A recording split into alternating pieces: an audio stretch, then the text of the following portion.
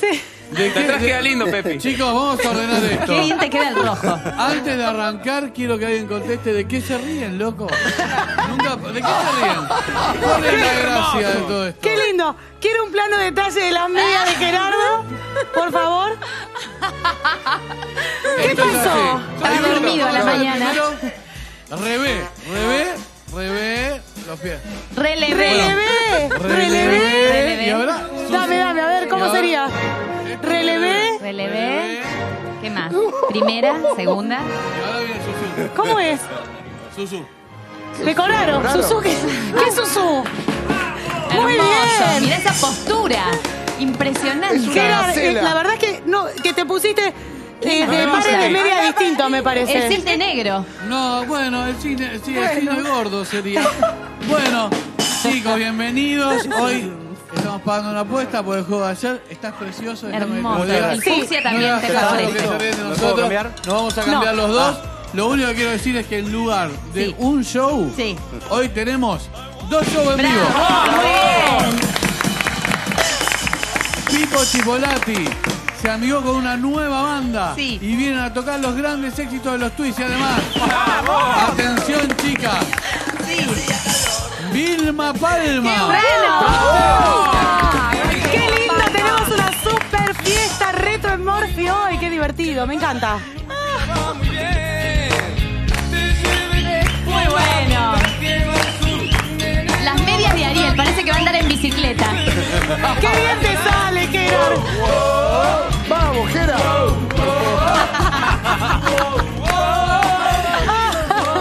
no molesta. Mirá qué pantorrillas tenía, ¿eh? Suena la banda más divertida de Recién los la 80. vemos. Como si nada yo. Como si nada. ¿Sabés por qué me quiero cambiar rápido? ¿Por qué? Porque vienen los Vilma Palma, Sí. el son de Rosario. Claro. Si los muchachos me ven así, Que no se diga. puedo volver más a Rosario. ¿te das O- cuenta? imagínate. Definitivamente no podés volver más a Rosario. No, lo que quería decir es, la banda más divertida de los 80 fue los tweets, suena acá hoy. Muy bien, qué bueno. Comienzan los 90. Vilma Palma, hoy, dos shows al precio de uno. Tremendo. Y la comida acompaña, ¿no? Por Permiso. supuesto, Obvio, tenemos obvio. una comidita retro en el día de hoy. Pero como les digo siempre, el amor Sí. es fundamental en la cocina. Pero con el amor solo no alcanza, alcanza. de cocina. Algo hay que saber. Le damos la bienvenida a nuestra orquesta de cocineros. Los cocineros de Morphy. Pásame a buscar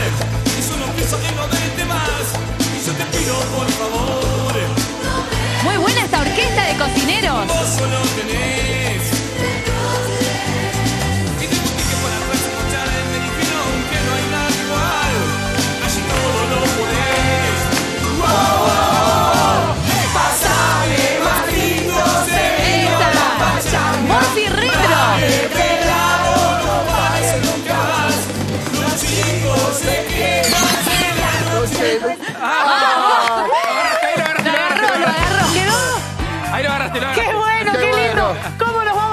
Hoy con esta música?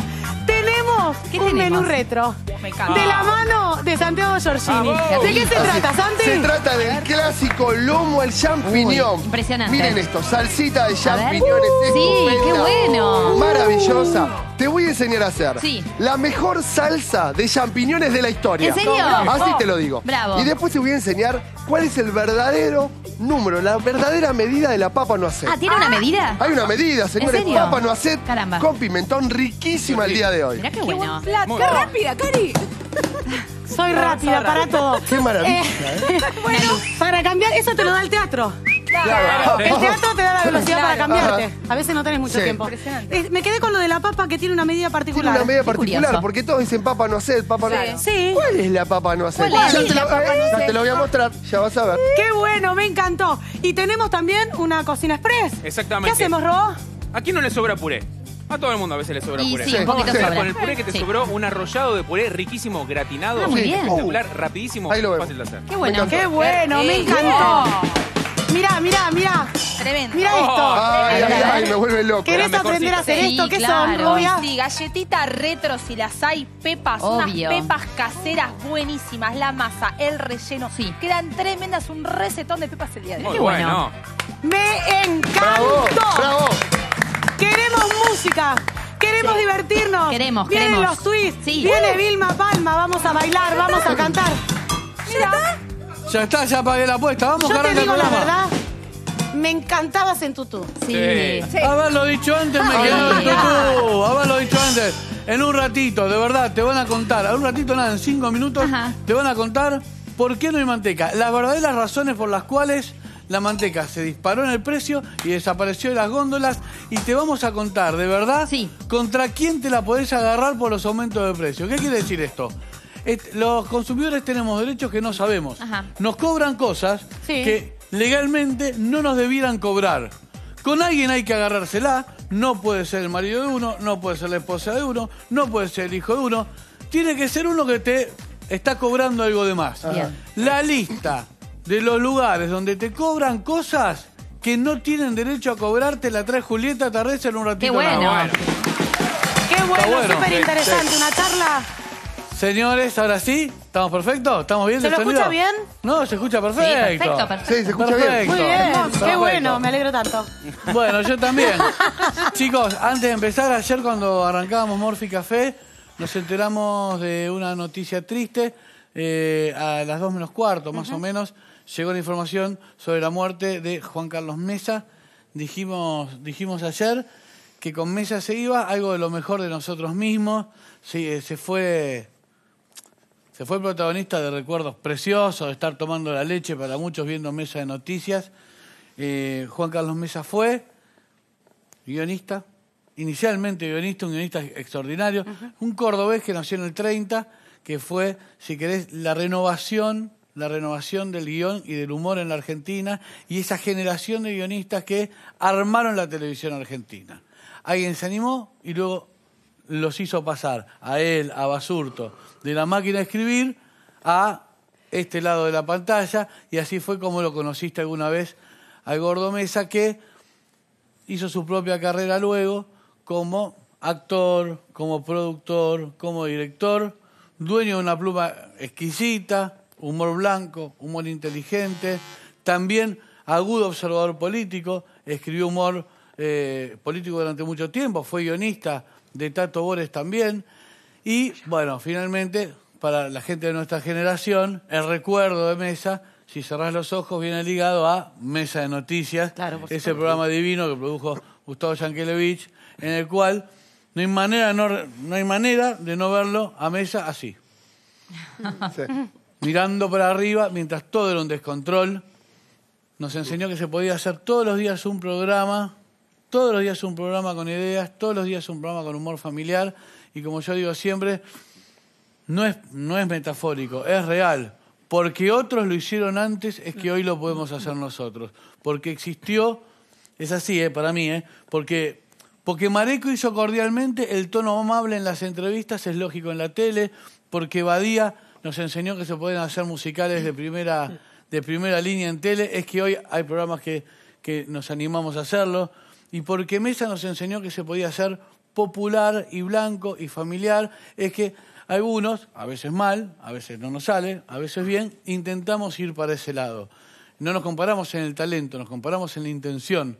Juan Carlos Mesa fue uno de los tipos más inteligentes que pasó por la uno de los tipos más inteligentes que pasó por la televisión argentina y para recordarlo elegimos un momento con Susana, ¿es así? Un momento con Susana, sí, un homenaje para Juan Carlos Mesa. ¿Lo compartimos? Recibimos para homenajearlo con todo cariño a Juan Carlos Mesa. Querido, feliz aniversario. Gracias, mi amor. Gracias. Pero re feliz aniversario, Mesita. Bueno. Estás precioso de buen mozo. Muchísimas gracias, sí. Impecable. Y a tu programa no podía venir de otra forma. ¿Te puedo contar una cosa de movida nomás? Contame. No, porque yo te dije recién que la, la segunda vez que me vestí de novio, no. Hubo una vez quiero contarlo a esto brevemente. Sí. En Mesa de Noticias, ya que has mencionado el programa, una vez la invitamos a Susana. Costó un horror porque ella tenía ya su programa. Y entonces este, la idea era que era mi cumpleaños en la ficción, y entonces iba con mi mujer en la ficción y sucedía que un mago la convertía a mi mujer en paloma. Sí, Y después venía el, el, este, el mago y me decía, ¿a usted qué le gustaría ahora que su mujer está convertida en paloma? ¿Cuál es su sueño? Dígame, yo hago un pase mágico y le digo, a mí me gustaría estar en Maxims, en París, tomando champán con Susana Jiménez. Dice, ningún problema. Entonces hice un pase mágico y yo aparezco en Maxims con Susana. Entonces viene Cris Morena, que era la... Je suis a la voz de disposición, nos sirve todo. Y la idea era que justo cuando yo le tomaba la mano a, a Susana, tenía que venir la paloma, que era mi mujer, y posarse acá. Bueno, se graba, tiran la paloma, la paloma pasa como un balazo y choca contra el decorado atrás. Bueno, eso pasó dos o tres veces hasta que me dice Susana, Gordo, ¿no tiene nada más que esta paloma? Porque yo me tengo que ir al programa, te quiero matar. No, no, le digo, está maestrada, ahora vas a ver. La tiran de nuevo la paloma, como va, la pasa, ¡pum! pega. Se desmayaba. Sí, se-. Susana se fue, lógicamente. Entonces dijimos, bueno, vamos a hacer una cosa, ¿cómo lo arreglamos? Y que entre mi mujer, la convirtieron de nuevo y entra y se sienta donde estaba sentada antes Susana. Entró Leticia, que era la que hacía el personaje de mi mujer, se sentó y justo cuando se sentó, Vino se la gra- paloma. vino la paloma y se me puso acá. Y entra ella y dice, ¿qué haces, gordo, acá? Le digo, y acá estamos con esta delirada, hace media hora que nos tiene acá. Qué bien contaba. Qué bien Lindo, contaba. buena persona. Hermoso. Una de, las, una de las entrevistas más lindas que me tocó hacer en la vida, Juan Carlos Mesa en La Pregunta Animal. ¿Sí? Sí, me sacó a pasear. Cuando alguien, cuando, hay, cuando alguien conversa bien, te saca a pasear. Habría que buscarla. Sí, ya la estuve buscando. Juan Carlos Mesa me sacó a pasear, ¿eh? No tengo otra manera de contar. Se puso a hablar sobre su vida, me hizo reír, me hizo pasear, me hizo pensar. Un recuerdo, seguramente, que todos estamos compartiendo. Y un beso grande y un saludo a toda la familia. Por supuesto, un abrazo enorme. Especialmente a Gabriel, porque es el que yo conozco. La verdad, un aplauso grande para el Gordo Mesa, que también pasó por esta casa, pasó por Telefe. Y atención. Si hoy vas a, te vas a cruzar con las canciones que bailaste, que cantaste, ¿Y cómo? porque Sí. suenan las canciones de los twists, Claro. porque suena Vilma Palma, ahora bueno. vas a pasear por los sabores de aquella época. ¿Te acordás los triangulitos esos de hojaldre? Obvio, Los sí. triangulitos de hojaldre quemaditos con azúcar. Sí. Riquísimos. Bueno, solo una, solo una de las cosas que está en esta mesa retro, donde te vamos a contar lo que pasa, el bolonqui de la, de la manteca y todo eso. Sí, todo, todo va a pasar en esa mesa, pero para que la veas. Para que la veas, te- tenemos que recordar nuestra frase de cabecera. Lo rico, si es lindo, Es más rico.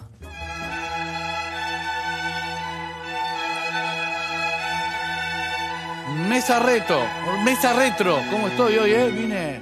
Galletitas caseras de aquella época. ¿Cuántos recuerdos, no? Sí. También. Hoy si hay tiempo te enseñamos a hacer las pepas. Porque ahí están los triangulitos. Mirá, mirá, Ay, mirá, mirá, ricos mirá. Riquísimos los triangulitos. Hashtag, hashtag Morphy Telefe. Sí. Si hay uno solo que frente a los triangulitos siente lo mismo que yo, hambre, ganas, desesperación, buenos recuerdos, que escriba un tuit. Mirá eso, mirá. Mirá, Oh. las del merengue adentro. Claro, le sacás de un lado la tapita. Claro, así se come. Esas comes. rellenas de dulce de frutilla. Riquísimos. Dejás la masa, te comes el chicle. Sí, hacíamos mucho eso. Y después venía mamá y te decía, ¿la galletita se come toda? Sí, o no ¿o se, come, viejo. Claro, la galletita se come toda. Ay, sí, Y después te comías las tapitas ya chupadas, porque Sí. no te quedaba más remedio. No te queda más remedio. Sola, sin María nada. Belén Aramburu. Gracias. Malena Gimbur, que vino picante porque estuve Bravo. viendo la revista. ¡Apa! Ariel, que te va a contar lo que pasa con la selección. ¡Qué rico, por Dios!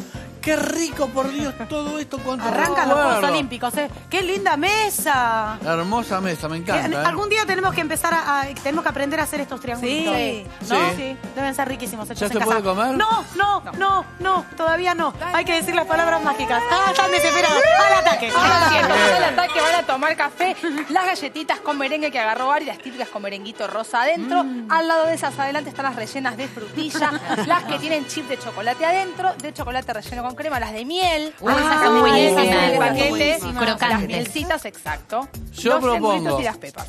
Mientras ustedes comen estas delicias, Sí. para que está mirando y no puede estirar la mano y, y robarse un triangulito. ¿Podemos, no sé, hacer un viaje retro de otra manera? Estamos en Telefe. Y cuando Telefe nace, cuando esto deja de ser Canal 11 y se transforma en Telefe, aparecen esas comedias blancas que ganaban, por supuesto, su horario y que dejaron frases que vamos a recordar para siempre. Sí, están en Eh, nosotros. Entonces, como las canciones de los tweets son de finales de los 80 y Vilma Palma de los 90, Sí. las frases que nos llevan a esa época son de Telefe. Míralas. A ver. O sea, que usted ha presentado que yo le iba a tomar. Se equivocaron completamente. ¿Que no la tomaste? Sí que la tomé, pero podría no haberla tomado.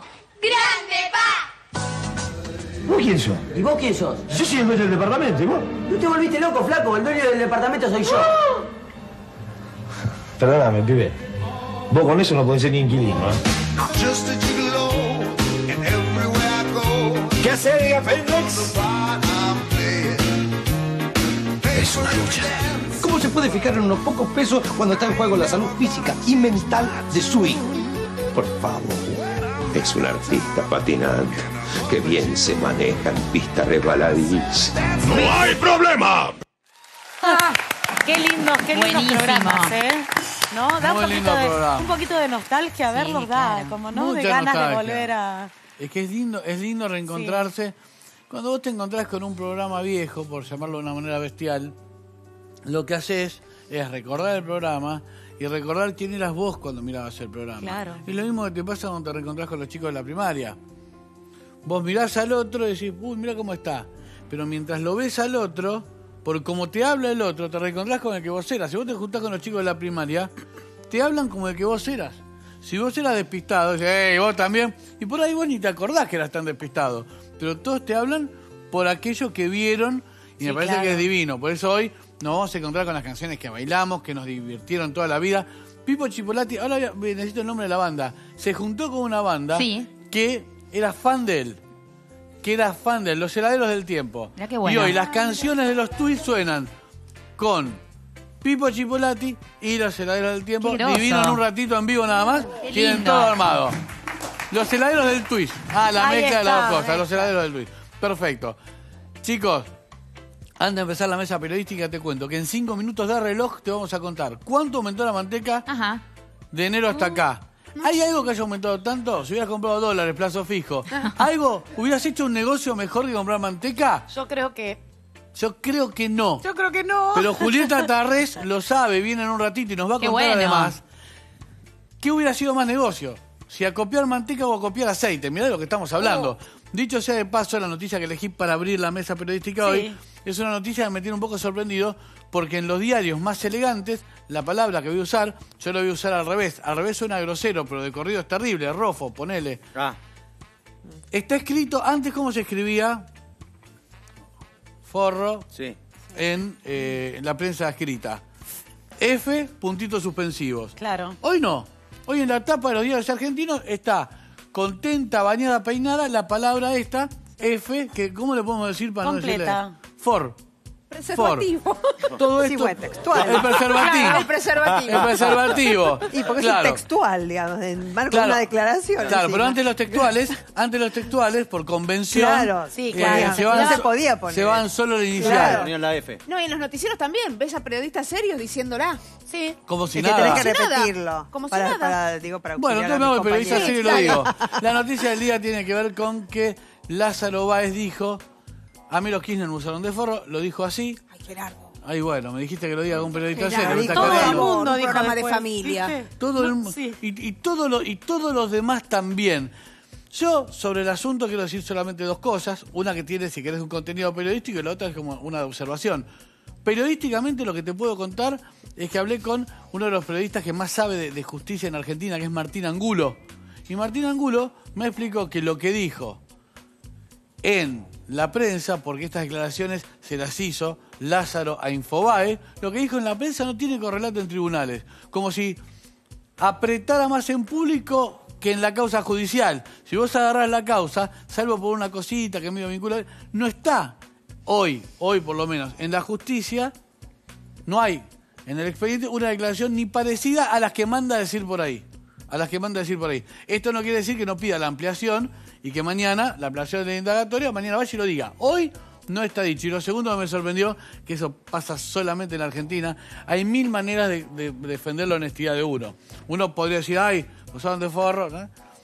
Y yo soy, no sé, no- nosotros no somos ladrones, dijo también, nosotros no somos ladrones, pero en la argumentación vos podés decir, no sé, mi formación me lo impide, jamás lo hubiera Jamás hecho. No, y lo que dice, lo que los, los que conocían a Néstor Kirchner saben que no se le caía una moneda. No me paré, no es como el argumento, es, solo acá puede pasar.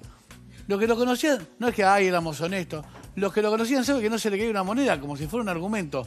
Rarísimo, rarísimo la manera de defenderse. Pensemos también en las distintas defensas que han tenido todos los imputados, ¿no?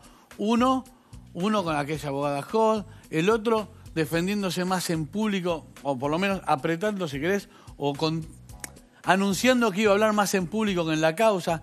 La defensa hasta ahora de los ex de los exfuncionarios, en este caso de los empresarios vinculados al gobierno que se fue, es por lo menos curiosa. Y esta declaración pública no deja de serlo, así que ya sabes, Lázaro dice que lo usaron de forro. Con ¿Qué toda más? una interna familiar, además. Toda, la Entre novela los toda. hijos, tres hijos todo. por un lado, otro por el otro, la ex mujer, ahí hay un. Acá las un novelas temita, distintos completas. abogados. Exactamente. Ahora, antes de recibir a Julieta Tarrés y contarte lo de la manteca, ¿qué viste en las revistas? Indignada. ¿Cómo te gusta? Poneme una cortinita, a ver. Estoy indignada. Indignada. Indignada. ¿Qué pasó? Pampita en Miami. Muy así, ¿no? Hermosa. Sí. Hermosa, Pampita, esa es sí, hermosa. sí. hermosa. Sí. Al amor no lo busco. Llega solo. Parece que llegó igual, ¿eh? ¿Cómo eligen, eh? ¿Cómo? No se ¿Cómo? sabe. cómo- cómo- qué fácil es para algunas, ¿eh? Sí, Ay, ¿no? a ver, me quiero enamorar. Bueno, me enamoro. Ay, no, ay, no me quiero enamorar, no me enamoro. Ay, bueno, sí, qué fácil. Cuando quiero, quiero. Ay, cuando no, no. Y después dice, me indigno, perdón. Ay, la rompí, mira, de los nervios. De la bronca me que te Pará, dio. bancame, porque De la soy bronca que te Y dio. aparte, viste que Ay, siempre, Dios. siempre de un millonario. No, no, no, siempre bueno, de- pará. ¿No? Este año no creo volver a enamorarme. Y entonces, si no lo buscas, ¿eh? ¿Mm? ¿Cómo es? ¿Mm? Pampita Está indignada, ¿Eh? Malena. ¿Eh? Ay, no creo. Bueno, llega solo, no creo. Llega... No, no. No, para no la cerrarlo. por favor. Para cerrarlo. Hermosa. Muy bueno. Si dices bueno. Pampita, ya está, te quedas tranquila, es Pampita. No lo hagamos personal. Malena. ¿Viste? ¿Viste Un besito? Pampita. Sí. José Otavis, Caramba. ¿Qué pasó ahora? pollerudo. ¿Por qué? Por, por una Subirlo un chica. poquitito, subirlo un poquitito. Ahí Por está, una perfecto. chica que le. Que, ahí, a ver. No. Ahí. No, mirá, ¿Por mirá qué lo que tiene pollerudo? puesto. ¿Qué se puso? Mirá lo que tiene puesto. José Pollera. Otavis usa pollera. Ahí Bien. Ahí, ahí está bien. Pollera. A los escocés. Sí. Sí. Abre un. Ponele. ¿Por qué? De alguna manera. Primero, José, yo tengo más experiencia en tema de ropa de mujer. Si sos petizo, la pollera larga no te queda bien. No te favorece. En todo Claro. caso, minifalda. Claro. Porque Es sos cierto. petizo, Otavis. Entonces, la pollera larga te acorta. Así que, Te acorta el ¿qué talle. necesidad? Es cómodo para... ¿Por qué ¿Por un qué hombre se quiere usar la pollera? Bueno, yo creo que quizás, quizás quería llamar la atención, ¿no? Como, Estaba como- extrañando salir en las revistas. Como no se hablaba mucho de él. ¿no? Me gustaría preguntarle. Yo tengo ganas de hacer una entrevista a Otavis, ¿eh? Una entrevista medio política también. Igual, a favor de Otavis, Sí. quiero Sí. decir una cosa. Hay cierta discriminación también, ¿no? ¿Por A qué? favor de Otavis. Porque cuando salió Mike Amigorena, a mi juicio, ¿qué? Se lo mató también por la pollera. ¿Se lo mató por la Se pollera mató, Mike Amigorena? sí. Eh, Pero a se Mike se le batió. disculpa muchas cosas. Cuando sí. Am- Sí, Por, cuando por ahí es Igual, como nos cae a los artistas en general, cae bien, sí. se les permiten ciertas cuestiones. Como, bueno, Sí. es artista, es le gusta, no sé, político, claro. claro. Claro, puede ser que a un diputado como- se, se claro. le perdone menos, ¿no? En ese sentido me parece que sí, digo, te aparece una- un actor con el pelo azul y decís, bueno, le gustó que ella es artista, está bien, qué lindo le queda. ¿de qué te disfrazas? Pero bueno, si Andá en el barrio con la pollerita y el pelo azul. Sí. Bueno, hoy usaste tutú. Con el tutú tuyo, que te- además No vuelvas al barrio, igual. No, No, a la cancha. Mostrale lo del tutú.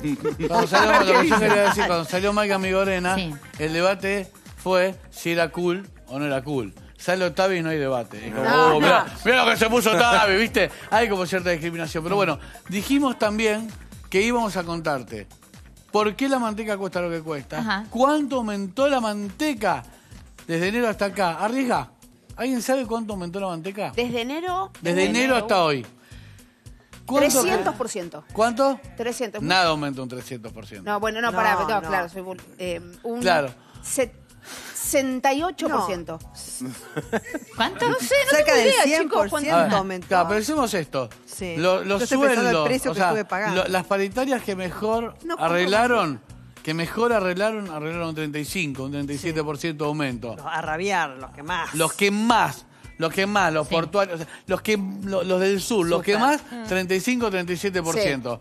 O sea que el sueldo que más aumentó, aumentó un 35. ¿Quieren saber cuánto aumentó la manteca? Sí. ¿Nos vamos a ¿Sí? ¿Querés saber? Sí. Vamos a ¿Querés saber? Sí, claro. Señores, periodista especializada en economía, le damos la bienvenida a... Julieta Tarré, ¡Bravo! bienvenida. Bienvenida a Morphy. Gracias. Buen día, Julieta. Buen día, ¿cómo estás? Adelante, bienvenida. Gracias por venir, encantado Por favor, de hola. ¿Cómo- Mira, con Igualmente. esto, porque no nos va a dejar ver. Gracias, Sandy. Ahí ¿Cuánto está. aumentó la manteca? Cien- 130%. Wow. De enero. a hoy. 130%. Sí, 130%. Por ende, todo lo que está Estamos tomando solo 7 meses, hecho con manteca también aumentó. claramente. Claramente. Sí, igual este es el precio minorista, o sea que probablemente en la industria mayorista el precio sea diferente, o sea, haya aumentado un poquito menos, pero el precio minorista que O sea, uno- a nosotros nos aumentó a nosotros 130. los- los A- comunes- Al dueño del supermercado no. No, Menos. claramente, no. El costo de la manteca eh, tiene, si vos, si vos comparás cuánto cuesta hacer manteca respecto a queso, te, vas, te va a dar una proporción de, por ejemplo, 170% de ganancia para el que lo vende, toda la cadena, ¿no? Cuesta la manteca, eh, sale del tambo la leche, se hace la manteca con unos 20 y pico de litros de leche, de ahí este, sale el producto final, se, transpa- se transporta, se distribuye, después se vende en la góndola. Ese, esa cadena de precios te da un, 100%, un 180% de diferencia entre que sale hasta que llega. Si vos tomás, sí, o sea, es la cadena de valor. Si vos tomás, esa es la ganancia con la que se queda la láctea, la mayor empresa que vende la manteca. Si vos tomás un producto como el por no salud, entendí. Perdóname, no entendí. a ver, eh, la empresa láctea Sí, tiene una ganancia sobre un producto y una ganancia diferente sobre otro. ok. ¿Cuánto, le, gana, por- ¿Cuánto le gana a la manteca? La- a la manteca eh, le gana el, la 100 fábrica de el manteca. 170% y al queso por salud le gana cua- casi 400, 370. Pará. Claro. 400. Entonces Pará, pará. ahí tenés una explicación. Pará, pará. O sea, el que, el que fabrica el queso ese gana cuatro veces lo que le costó. Claro. En nada se A gana. ver, sí, en sí, lo que le cuesta producirlo, tal cual. ¿Cuatro veces lo que le cuesta Sí, producirlo? 370, casi cuatro veces. Casi cuatro veces. Sí. En nada se gana tanto. No, pero en la industria alimenticia se gana. Es Se una gana. de las industrias que más eh, ganancia genera. Impresionante. Impresionante. Entonces cuando dice que la manteca deja menos guita, deja un montón también, pero no tanta como la otra. Exacto. Y el gran problema con la manteca ahora que está escaseando, hace 10 días que no se distribuye, es hay varios factores. Uno es internacional y eso es por ahí un poco más macro para explicar, pero fácilmente se puede decir que China dejó de consumir o de eh, eh, de mandarnos a nosotros leche en polvo. La leche en polvo que China consume se consume descremada también. Y la parte que se- la grasa que se le saca a la leche descremada en polvo es con lo que se hace manteca. Con esa grasa, eh, acá en la Argentina se produce manteca para consumo interno y para exportar. El problema es que como se de- demanda menos, se produce menos leche en polvo. Y además, sumale a eso que hubo inundaciones en abril. Como se produce menos leche en polvo, porque los chinos no compran leche en polvo. Sí, bueno, hay una caída internacional. menos cantidad so- de grasa. Sobra menos de lo que sobraba para hacer manteca. Sí, por un lado. Por otro lado, hubo inundaciones, no sé si recordás, en las cuencas lecheras y en algunas zonas Sí, productoras en abril. Sí. El frío no ayudó y entonces eh, hubo mucha menos producción, un 20% menos de producción de materia prima, que en este caso es leche eh, no pasteurizada. Por ende, tienen menos materia prima para producir y se, pre- se prefiere vender leche fluida, que tiene más rotación, o hacer productos de mayor valor agregado, como el queso, que te da Claro, mayor pero ganancia. el caso de la leche, si vos Sí. te fijas el, el precio a boca de tambo, digamos, es Cuatro tanto más inferior claro. que el que se llevan los supermercadistas. O sea, en la intermediación y lo que es el precio final se lo llevan los demás, pero el que lo produce, digamos, el, que- tambero el- no se el lleva que se la ocupa de plata. hacer el trabajo Claro. manual y más sacrificado es el que menos gana. Es el En que el- menos sí. gana. Y pensá que el paso que sigue, que es el que se lo compra barato, gana en algunos productos hasta casi cuatro veces, veces. la que gastó. Claro. Sí, en el no hay caso de la ningún negocio no. que te da por cuatro. Es muy loco lo que pasa. Ahora, Sí. déjame que tenga una pregunta política. Sí, A ver. a ver si te la puedo responder. Ay, sí podés. Ay, ella se hace. Ya, yo trabajé en radio con ella. Ella se hace que no, sabe todo. Le puedes preguntar. Bueno, no. Aparte es muy gracioso. Le puedes preguntar solo para jugar, ¿eh? Cualquier cosa y ella dice, ah, bueno, pero. sí". y le encuentra la vuelta. La pregunta es la siguiente. Juli. Sí. Venimos de un tiempo en el cual aprendimos que con el chumbo arriba de la mesa, Sí. como o sea, ocurría ante la Secretaría del Comercio, eso estaba mal y no era una manera de vincularse con, por ejemplo, los formadores de precios. Ok, Sí. sacamos el chumbo. Sí. Ahora, ahora estamos en la etapa, estamos en la etapa de El libre ha- ha- mercado. haga la que quiera. Sí. Cóbrele, Master, cobre la que quiera, es esa. Sí. ¿En el medio Es- no hay nada? No. Eh, a ver, eh, sí, es una buena pregunta. Eh, está comprobado y hay economistas norteamericanos que lo han estudiado y de hecho han escrito libros sobre qué pasa con el control de precios. El control de precios en general no funciona eh, en ningún tipo de economía, salvo en situaciones de emergencia como puede ser una guerra o, por faltantes de mercadería.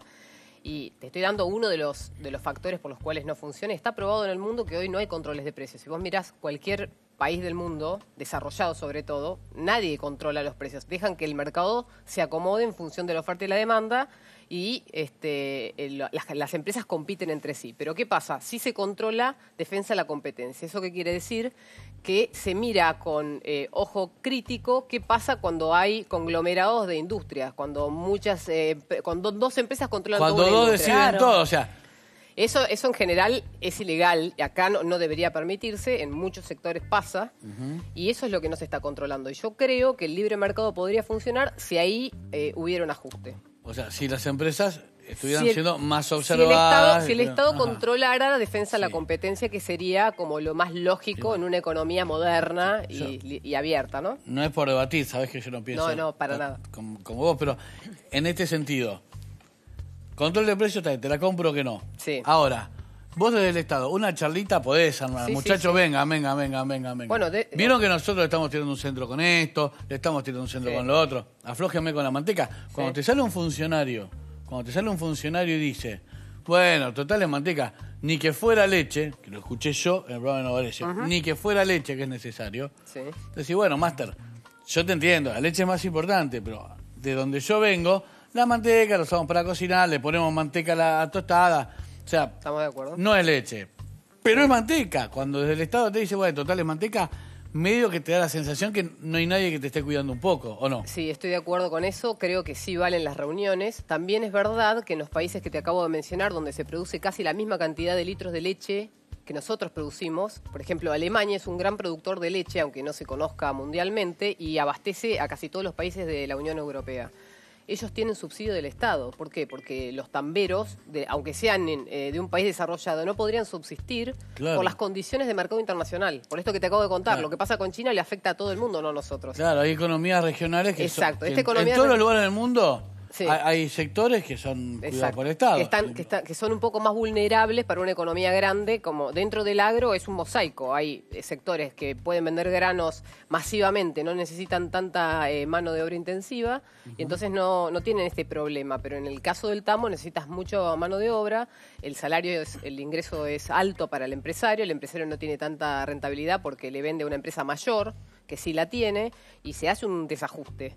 Entonces, eh, bueno, deberían, este, para mí, intervenir en ese sentido, darle un... Ayer lo vi en el noticiero Giorgini, mientras vos le preguntabas, Santi, sentate, vení, vengan chicos, Vamos. vamos a hacer cinco minutos y ya nos ponemos a cocinar.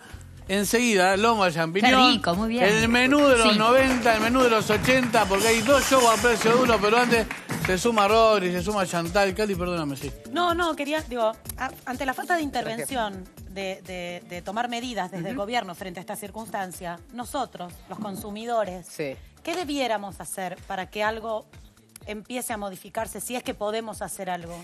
Mira, como consumidores creo que tenemos una herramienta fuerte que es quejarnos. Para empezar, creo que deberíamos eh, ir a... la- hay una herramienta que se llama consumo protegido, para, por ahora funciona en capital y en algún momento va a funcionar de manera nacional. La idea es, vos podés entrar en la web y re- hacer un reclamo cuando vos considerás que un precio está mal cobrado en el supermercado, cuando un precio no es justo, cuando un precio está eh, mal facturado, por ejemplo. Y en ese caso vas a un tribunal arbitral de consumo y automáticamente te reintegran el importe o te o multan a la empresa y además a vos te compensan de alguna manera. Sí. Eso hoy en Capital...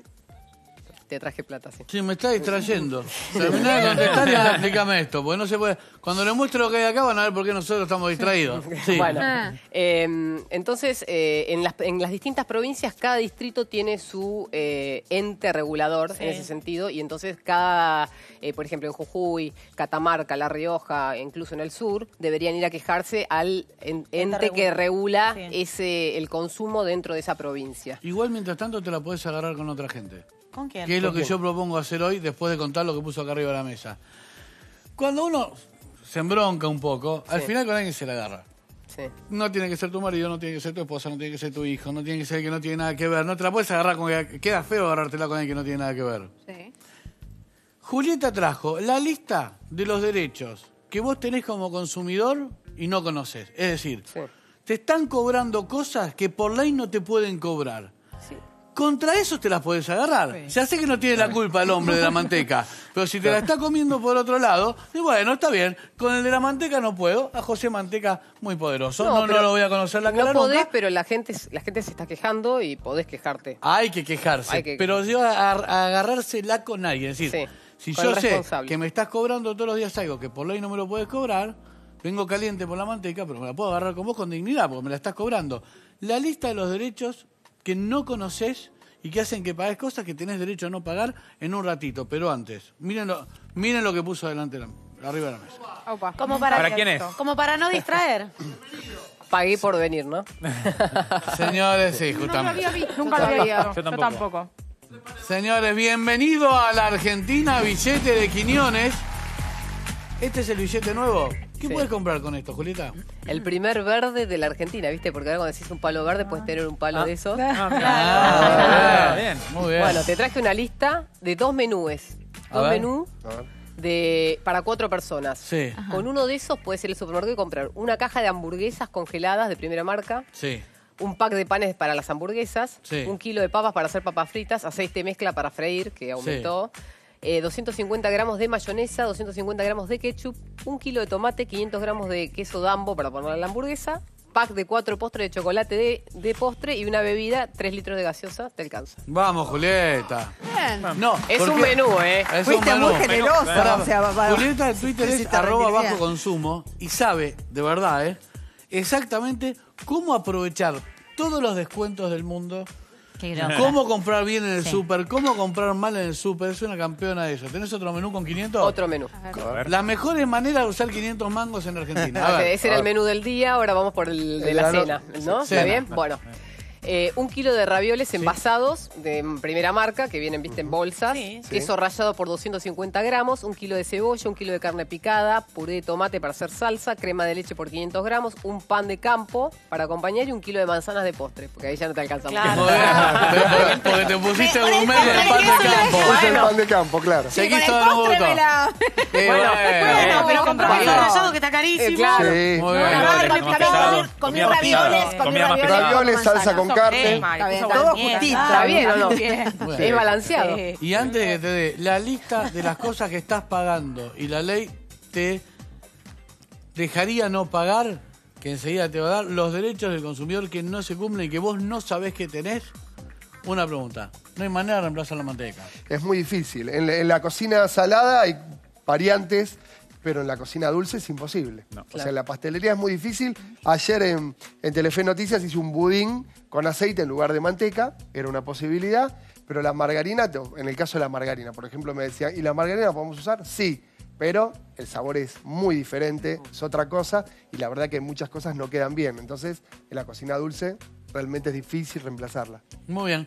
Hashtag Morphy Telefe, si tenés alguna pregunta sobre consumo, tienen que estar ya porque enseguida nos ponemos. Hoy es todo joda. Hoy es todo Suenan los tweets, suena Vilma, Vilma Palma, Palma. es todo joda. Fiesta retro tenemos. Va a estar Buenísimo. bueno, va a estar bien esto. Bueno, eh, Juli, Sí. me la quiero agarrar con alguien. Nos corremos Tiene con nosotros. no, no, ¿Querés que no. nosotros no? Reconozcan que desde hace unos bastante Sí, tiempo soy el que menos se la agarra de lo de acá, ¿eh? Es cierto. Yo cuando hice de loco hice de loco, ahora estoy. Escúchame. Sí. Yo te estoy escuchando. No me, gusta, no me gusta, no me gusta lo de la manteca, no, No me gusta, gusta. lo del aceite, me la quiero agarrar con alguien. Explicaste muy Sí. bien lo de la inversión en manteca, me gustó eso. Ah, muy eso. bien, me, me gustó. Si invertís en manteca te iba mejor con el dólar, Sí, ¿o no?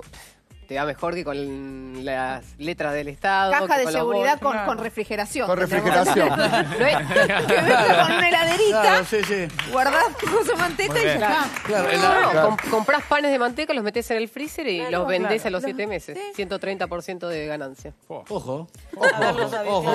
Me parece que los dueños de los supermercados ya sabían, pero no importa. Es un dato que te lo tiro.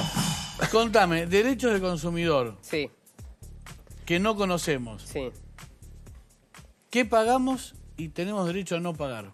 Sí, el primero es el servicio de mesa y esto corre para capital porque en cada provincia es diferente, pero la ley porteña que indica que vos tenés que cobrar un servicio de mesa te dice por qué pagás el servicio de mesa. Eso incluye que vos cuando te sentás a comer En un restaurante. en un restaurante te sirvan, primero te pongan una mesa con mantel de tela, Sí. tenga servilletas de tela como estas. Sí. Eso sí o sí. Además tiene, tenés que tener una Pará, panera... pará, buenísimo. Bar, bar lindo, matado, no tiene... No tiene, No, tiene mantel tela. ponen un mantel de papel, ya podés reclamar. Ya puede reclamar. O sea, un individual de papel no corre para el servicio de mesa, porque eso di- la ley dice que tiene que tener ser- eh, mantel. Pero somos muy cool y le ponemos de papel. De papel. Y no lo podés cobrar. No lo podés cobrar, qué lindo. No lo podés cobrar. Es hermoso. Pero, Anoten. quiero, vamos a comer vamos, hay que ser equilibrado. Vamos porque si recorrer. vas a un Sí. restaurante, no te ponen un mantel de tela, pero te ponen unos papelitos, pero divino, te ponen la panera, lindo. Bueno, de una besa bonita. Pero no que te sigue la lista. el servicio de mesa. Pero no le vas a hacer el reclamo. No, pará, que sigue, la, la pará, lista sigue. ¿Qué más tiene que Ella, la ella se reclama todo. Bueno, ¿eh? yo le hago reclamo todo. No la conocés, Yo soy no la que la no me quieren ¿eh? ver, ¿viste? Dicen ahí viene. a ver. A ver. Después, eh, cada restaurante está obligado a servirte 250 mililitros de agua por persona apto para consumo. O sea que vos podés no tener que consumir una bebida en el lugar. Podés tomar agua. Eso es bueno saber. Bueno, dato, ¿viste que- buen dato. Claro. Agua. Agua, una panera. Agua corriente. Agua corriente. Agua corriente. Sí, no necesariamente tiene que ser apta para consumo que Ahora, se pueda tomar. Hay que Sí, contar. bueno, el de la canilla es potable. Sí, pero hay Potable. que contar que en Estados Unidos, Exacto. en lugar de tener, en lugar de, en lugar de tener que pasar por la incomodidad de decir no te pienso comprar una gaseosa en 20 años, vine Claro. con los nenes, los nenes van a tomar agua, tomás agua. Sí. En lugar de hacer toda Claro. esta escena, Claro. naturalmente los tipos te bajan el agua, Y te preguntan si querés te, algo más. te bajan el agua, entonces vos ¿Quieres tomar algo más? Es más cómodo, ¿sí? No, por el momento Claro, no. sí. Es al revés. ¿Van a comer algo? No, tampoco. No, no, tampoco. Mire, no, no. la agüita estoy. Tampoco, sí. Aparte, como lo habían retado mucho de chico el tipo, viste, que traía una Sí. gaseosa para Para tres, todos. le traía el agua de la canilla y también, ¡para compartir, mierda! No. Sí. Bueno, La eh, panera, la panera, la panera tiene que estar completa, de- de- tiene que tener pan común, Sí. pan integral y tiene que tener pan para celíacos, o sea, sin Obligatoriamente. gluten. obligatoriamente. y además, como no se lindo. como- manteca no, no es ahora. bueno, eso eso queda ah, eh, claro, eso Ahora queda a criterio no. del restaurante, eso no está obligado por ley. Claro. Pero eh, si vos eh, pedís sal, viste que la sal hoy no puede estar en la mesa, tiene que tiene que venir la sal común y la sal modificada, sí o sí. El restaurante que no tiene sal modificada también está en infracción. O sea, o no te cobra el servicio de mesa o te pone la sal modificada. Ahí, muy ¿no? bueno. Ay, a mí me Todo súper interesa. Llego a ir a una cita con un tipo Sí. y empieza a quejarse de eso, salgo corriendo. Bueno, claro. Me asusto un poco. No, en estos lugares Sal anotás- modificada no hay. Nos levantamos. No, no. No, lo No, no, no me registrás cobres el servicio, dice. después. No, acá la Claro. perilla está bárbara. Bueno, están así, que han salido corriendo un montón de tipos cuando ella estaba soltera, Claro. porque ella empezaba a pedir eso. Y sí, suele pasar. Bueno, otro tipo de, de reclamo reclamo que uno puede hacer. hacer. Esto es muy común y esto pasa para en todo el país y en todas las provincias. ¿Ustedes sabían que, por ejemplo, el transporte público, un colectivo de línea, tiene que parar en todas las esquinas una vez que se hace de noche o llueve? ¿Cómo? Claro. No tiene que, no tenés que esperar a la parada. La ley dice que vos tenés que parar. Vos podés pedir que pare. Sí, sí, así como te digo. Nunca lo hace. Para No, nunca, eh. Pero es obligatorio. A ver, sí, lo escribí hay en el gente que diario y se salió queja. publicado y nadie me reclamó nada. Y además la ley lo dice. Pero cerró el diario. No, no, en La Nación hace... Ah, en La Nación. Escribí una nota sobre ese tema. Si es de noche o llueve. Si es de noche o Si es llueve. de noche, a partir de las 8 de la noche o más tarde en verano. Pero perdón, tanto para el que está arriba del colectivo diciéndole quiero bajarme en esta esquina, como para pararlo No, el que para, para en la parada. El que está El que abajo... baja. El que está Eh, abajo pero sí el que puede- baja, Sí. Diluvia, suponete. Sí. Vos querés bajarte, tenés que bajarte en tu parada que está a dos cuadras donde vos vas, pero vos querés bajar en una esquina anterior. Te tiene, es obligatoriamente que... que- tiene que parar, porque No, la ley dice que tiene que parar. pero O sea, ¿Podríamos la- agregarle que te dejen la puerta de tu casa? No. Pará, Y pará, pará, La ley- Juan. La ley dice, cuando llueve taxi, o sea, parame acá a la Eh, esquina. sí, solamente para en las En la esquinas. parada, claro. Sí. Sí. Hay que tener en cuenta que históricamente por cuestiones vinculadas más a la corrupción que a la falta de, que, que a la Claro. falta de onda, Sí. nadie ha controlado nunca a las empresas de transporte en ninguna ciudad. Sí. Estas cosas que son nacionales pero que van por las ciudades. Claro. En ninguna ciudad de la Argentina, de cualquier color político que sea, nunca han controlado a las empresas de transporte, que no paran la- en donde tienen obliga- obligación de parar, imagínate. Pero es bueno saberlo. O sea, llueve, estoy en el bondi y yo digo, Master, en la esquina, por favor. Claro, está bueno recordar, ahora no recuerdo el número de la ley, pero vamos a tuitearlo para que la gente le diga, la ley tal dice tal cosa, así que tenés que parar en la esquina. Bajate, vieja claro. Sí. Bueno, bueno, bueno. Ahora, ¿las empresas capacitan a los choferes? ¿Saben de esa ley? Es probable que los choferes no la conozcan, pero las empresas sí lo conocen. Las empresas lo conocen, bueno. Y los choferes también y no paran. Es probable. es Ya probable. tenemos que cocinar porque tenemos dos shows, lomba, Bueno, champiñón sí, con papa, no sé, pero dame dos. Más. Sí, por favor. Decime personalmente, Sí. ¿cuál es el asunto por el cual ves que todos gastamos plata y que vos, y vos, y vos que te la sabés todas? Bueno, no. Bueno, pero Yo esa- también gasto plata. No, ya, sí, ya sabemos, Si pero, no, no hay otro. pero te las sabés todas en materia de descuento, la sube. ¿Cuál es? ¿Cuál es ese gasto que ves en los demás? Y así, pobrecito, mira infeliz. supiera. Paga 10 pudiendo pagar 8, ponele. Claro. Bueno, ¿Cuál es hay- el hay gasto un- de más infelices te parece? Hay un mecanismo universal que- para ahorrar que es que todo el mundo te lo, los economistas sobre todo te indican que es anualizar los gastos. De esa manera uno sabe cuánto está gastando en un servicio, en otro, en alimentos, en a ver a qué le estás dando prioridad.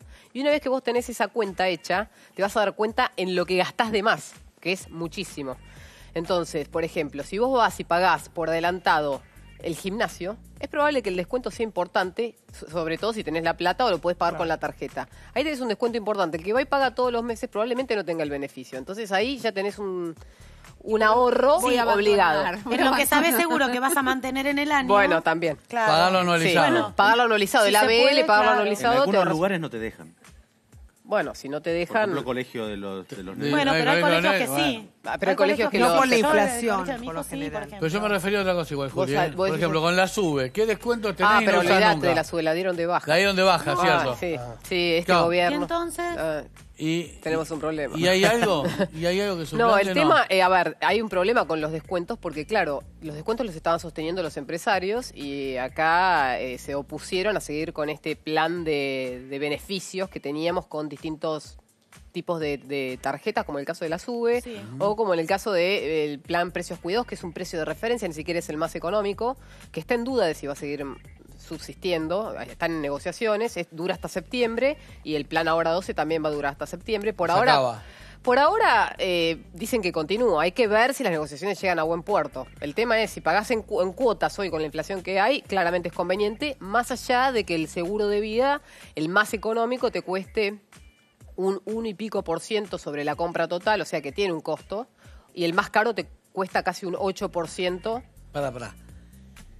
Yo me olvido. Pagamos seguro de vida siempre, ¿no? Claro, cuando vos compras en cuotas, pagás seguro de O vida. sea, yo digo, hay cosas que para ellas son completamente Y por si te pasa habituales. algo que no te quedes debiendo, No, no, sé. ya sé. cuota. No, yo sé, pero a ver, pa- para, No, para no, ella es completamente habitual y muy probablemente vos, nosotros, no sepamos, no leamos chiquititos, no. que cuando compras en cuota estás garpando un seguro de vida por si te morís. Yo doy un consejo y quiero que después me expliques. Sí. La del seguro de vida Sí. y por último, Sí. o algo más que pagamos y no sabemos que pagamos en las boletas. Contanos lo que estamos pagando sin saber, que es donde nos... Vos decís donde en los nos- servicios. en los servicios o con los privados cuando compras en cuotas. Sí. Seguro de vida hay uno más. Ustedes cuando compran en cuotas pagan un seguro. ¿Vos sabías que estás pagando un seguro de vida? ¿Lo Sí, leíste? Eso lo sabía. No, ¿Vos- no, no, lo lo sabía. Sí, lo sabía, pero no de haber Yo lo leído. leí, pero... El detalle no. El Los detalle- detalles ninguno. Ninguno. No. A ver, nos explica el seguro de vida. pequeñita. Una información de María Belén, una de Ariel y después otro derecho. Nos acabamos de enterar que por ley, si llueve, el bondi te tiene que pagar en la esquina. Sí. Por, eh, por ley, si no tiene mantel de tela, no te pueden cobrar servicio de mesa. Uno más de esos para que te bueno. agarres con alguien que corresponda. En cinco minutos nada más, pero antes María Belén liberaron a uno de los volu, Sí, voluterroristas. lo querramos llamar porque cometió un, Un delito, un delito, un delito. Lo que pasa es que él dice que es inocente. Se trata de Walter Joel Ovejero. Y apuntó directamente contra Miguel de Paola. Tienen la misma edad, 21 años, los dos, por más que uno es el tío y otro es el sobrino. Lo que pasa es que dijo eh, Walter que en ese momento él estaba cerca de la estufa mirando televisión y que si quieren investigar su computadora y su celular no van a encontrar nada. Que en realidad le usaron una computadora de la casa, porque recuerdan ustedes que fueron detenidos en la madrugada del sábado en una casa que se encuentra en Plaza y Triunvirato, allí en Villa Urquiza. El tema es que eh, Miguel de Paola dijo que era una broma y que él usó una cuenta anónima que la activó y se dio cuenta, digamos, cómo estaba reaccionando la gente frente a la probabilidad de atentados terroristas. Recuerden, contra el presidente de la Nación, colocación de bombas en la Casa Rosada, en la línea B de subtes, en el Abasto Shopping, o sea, todos blancos fáciles de atentados terroristas. Ahora bien, él sigue preso y su sobrino, Walter Joel Ovejero, cuando fue liberado, dijo lo siguiente. Eh, es, fue una situación muy, muy difícil. Este, gracias a Dios estoy de nuevo en mi casa, con mi familia, que era lo, lo que necesitaba. Contanos qué, fue lo que pasó, por qué, bueno, caíste detenido con tu tío, ¿no? Eh, sí, eh, usaron mi computadora para eh, mandar dos tweets de mi casa este, y eso. ¿Fue tu ¿Usaron tío? es alguien conocido, es tu familiar? ¿Cómo, ¿Cómo es esa relación? Sí, fue mi tío. El hecho de que haya sido tu tío fue un agravante para vos, ¿lo sentiste como una traición? No, no, no, no, no, no. Eh, yo estoy, estoy mal por mi tío porque él está pasando por una situación muy, muy fea, que no se la deseo a nadie. Eh, y bueno, ahora esperemos que, que se solucione todo. Bueno, entonces se trata de una broma, dijo, pero una tío. broma que es un delito, ¿eh? un delito que es intimidación. Muy bien, María Belén. Muy bien, María Belén, como lo dijo. bueno, sí. Le mandamos saludos al tío, ¿no? Sí, el tío está preso. Fue mi tío. El- Ese es el que el tío quedó está preso. sopra. Claro, este lo liberaron. Este es el único tío- que salió, claro, sí, el tío sí. de 21 Es está tremendo preso. que hablan con una liviandad de las cosas, como si fuese nada, ¿no es Sí, cierto? sí, sí. Bueno, es como las modelos cuando dicen me hackearon, ¿viste? Como todo, Bueno, bueno. pero eso por lo menos, qué sé yo, no le hace mal a otros, no está poniendo No, al contrario, a muchos nadie. les hace bien. A muchos, a muchos les hace bien. A muchos les hace favor. Enseguida, Julieta Tarrés te Sí. cuenta. Yo tengo ganas de, de- de ver qué pasa. Me gustaría saber si los colectivos lo saben. Así como te contó. el con lluvia. Yo no uso, honestamente, me muevo en auto o en subte. subte, Eh, subte o sea, la- el servicio de transporte público que yo eh, uso regularmente subte. Pero bueno, Y que el subte mejor pare en la estación, no Bueno. ya lo he contado mil veces. Para mí fue novedad. Yo cuando vine de Rosario, yo te lo cuento, a mí no me da ninguna vergüenza. En Rosario no hay subte. No. Le habrá pasado acá a mi amigo Guitín. En Rosario no hay subte. No. Yo me quedé buscando el timbre. Ay. Yo me quedé buscando el timbre. Bueno, Bueno. pero ¿cuántos Era años chiquito. hace? Un montón. Bueno, bueno. Ariel Rodríguez, el deporte. En un minuto, dos informaciones. Empezamos por la selección argentina. Les cuento que el cambio de Bausa no va a llevar muchos cambios. La selección argentina va a seguir siendo la misma. ¿Por qué? Porque tiene que convocar muy rápido. Falta ver qué va a pasar si va a estar Messi o no. Argentina no puede darse el lujo de jugar sin Messi. Bausa dirige mañana al San Pablo, el viernes está en Argentina, el martes va a Europa a ver a Messi y a Mascherano. A partir de ahí se verá cómo sigue la cosa. Y cambiando, hoy empiezan los Juegos Olímpicos. Les voy a mostrar un barco que llegó hoy a Río de Janeiro. Se llama el Silver Crowd. Es una de las pocas embarcaciones a nivel mundial que es seis estrellas. Ahí Qué van a vivir. lindo. Ahí vive, ahí vive. Van a vivir los Qué fiaca, qué fiaca que me dé ir a jugar al básquet si estoy ahí. Ahí no van te a- voy, no te juego. Miren lo que es eso. Miren lo que. Ahí van a vivir los basquetbolistas. ¿eh? Qué mal que nací petiza. La Qué información dice. Sí. Difícil imaginarlo. La información dice que a 15 metros del barco, del lado de la tierra, hay una tela transparente de policarbonato antibalística. No, Sí. La verdad no, no me lo imagino, pero sería un telón. ¿Para qué? Para que puedan moverse con- por total como- comodidad por el barco sin ningún inconveniente. Muy bien, ¿eh? Imagínese toda una tela alrededor. Hermoso. Una cosa. Un aplauso para los muchachos que vinieron de joda a Río de Janeiro y hasta por ahí te llevan la medalla, pues son los de la NBA. Antes de cocinar entonces, volvemos al asunto. Brevemente. Bueno, seguro de vida. Pagamos cuando compramos en Cuta un seguro de vida. ¿Cuánto pagamos por si nos morimos? Depende el banco y depende la tarjeta, el seguro de vida oscila en porcentaje entre 1,5 y 8%. El banco más caro, el que te cobra más, es el 8% anual y estamos hablando anual, ¿no? Todo Sí. anualizado. Perdón, de, de cada compra No, que no, anual, el anual. total del resumen es el... El- es, es- eso pro- eh, lo tenés que prorratear al año. O sea, es el seguro de vida es un porcentaje chiquito de cada cuota de todas las compras que vos hiciste con... por eso de cada compra. Claro, pero a ver, es anual. Entonces, Claro. es anualizado sobre el total de la compra dividido 12 Claro. o dividido la cantidad de cuotas. Claro, o sea, Si vos, vos pagás 10 el 8 compras, anual. Claro. Por el tiempo, por el tiempo que estés debiendo la plata. Exacto. Claro. Porque vos Claro. saliste de 12 cuotas y te metiste en otras 12 cuotas. Seguís pagando. Por ahí seguís pagando. Por Ahora, eso tiene, al final, la- el, el costo, la cuota sin interés nunca es Ah, claro, totalmente sin interés. Hay otro ítem que me acabo de acordar. Cuando No, uno- perdón un minuto, es Sí. importante esto. Si alguien te puede cobrar, un, vos te compras un televisor y alguien te cobra el 8% por si te morís. El banco te cobra un 8% de interés por usar el banco para financiarte por si te morís. Devolvémela. Hablaron con el médico y saben algo, digamos, pues.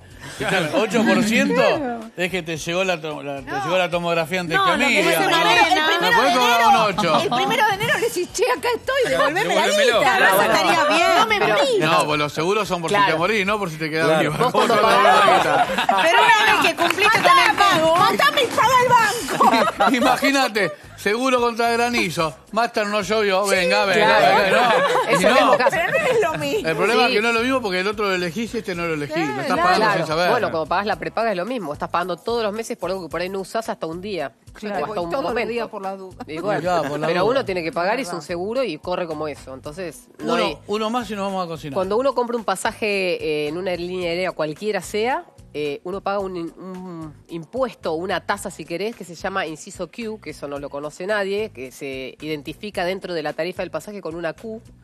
Y eso es un porcentaje del combustible que carga el avión cuando vos viajas. No. Eso, de Encima eso- de lo que te sale de eso se compone la tarifa eso. aérea.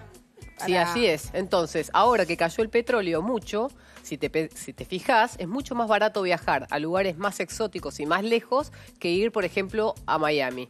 ¿Por qué? Porque el combustible en la Argentina tiene un costo diferente, porque acá el, petróleo es más caro que en el exterior. Al margen de eso hay más demanda. Entonces, tenés un avión lleno permanentemente, entonces ese precio no va a bajar. Ahora, como no es habitual viajar a Medio Oriente, a Tailandia o a, o a Australia, vos podés conseguir un pasaje del mismo precio que de, de acá a España. Vamos. Muy bueno. ¿Sí? Muy bueno. ¿A me- dónde me vamos? gustó, ¿eh? ¿Vamos? me gustó. Me gustó, la verdad. Eh, eh, Tailandia, obvio. Tailandia. Un aplauso grande para Julieta. Tarré. Hermosa. Qué interesante. Tiene ¿Cómo que volver sabe? para que sigamos haciendo anotaciones. La semana que viene, Sí. A ver qué me yo vas te a digo lo que pedir. necesito. Pedime.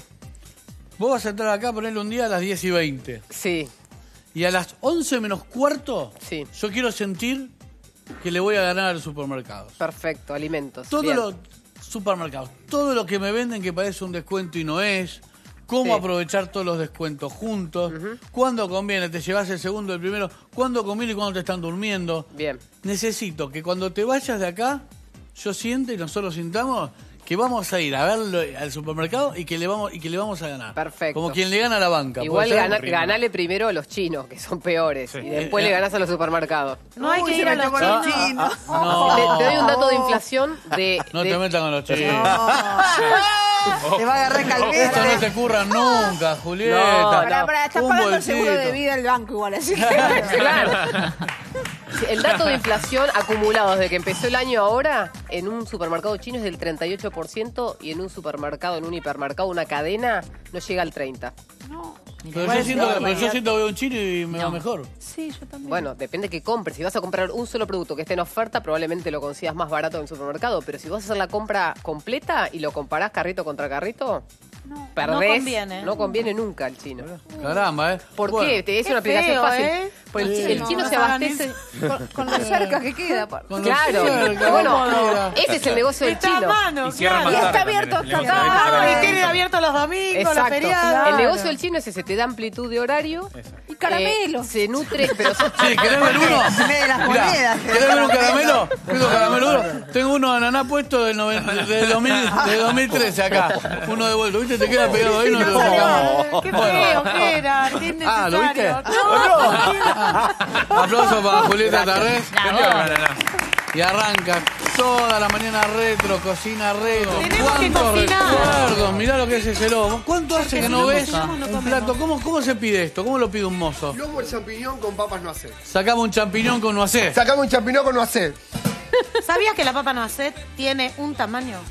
No podés hacer papas eso, ¿eh? de cualquier tamaño. Sí, son bolitas de cualquier tamaño. No, Era. No, señor. no, no, no. Es la cuchara de 20. ¿Eh? La cuchara de 20. La cuchara de 20. La papa no hacer Sí. es una papita básicamente, es una esfera que tiene una cuchara específica. Ajá.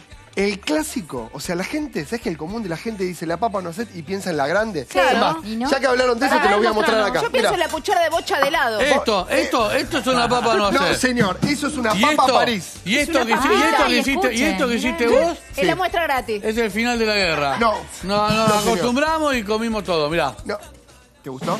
Tiene Qué pimentón. rico, como dice Moni. ay, Ay, uno se ¿Qué cree tiene? ¿Distinto nombre según el tamaño? Seguro, claro que sí. No, ¿Esto no la es papa noisette? Papa noisette. ¿Y es- esto papa París? Esto es papa París, es un poco más grande, es 25. La Yo cuchara de París. 25. Qué ganas de Yo París. complicarse, ¿Y chicos. Le sabes ponen papa redonda y da lo mismo. No, no, no. Bueno, es más, Bolita. hay una papa más Bolita de chiquita. papa. Hay una papa más chiquita que la noisette, ¿Cuál? que es la perla. No. Sí, la yo la vi, perla. son divinas, chiquitas. Son divinas, chiquititas, Ah, me 15. gusta. Siete tiene, comer. 10. Como arvejas. 10. Exacto. Y se Es hacen igual. siente comer. Se cocinan igual. Se cocinan de la misma Solo que manera. tienen otro Tienen tamaño. Que lo, lo quiero aclarar nada más, porque la papa noisette Sí. es más chiquita que la París. Simplemente ¿Cuál eso. es la París? La París es la más grande, Mirá. fíjese, esta. Mire, ahí te lo muestro. Ay. Porque Pero es, es muy sutil. Los cortadores vienen con Sí. dos, ¿no? No son iguales, son sutiles.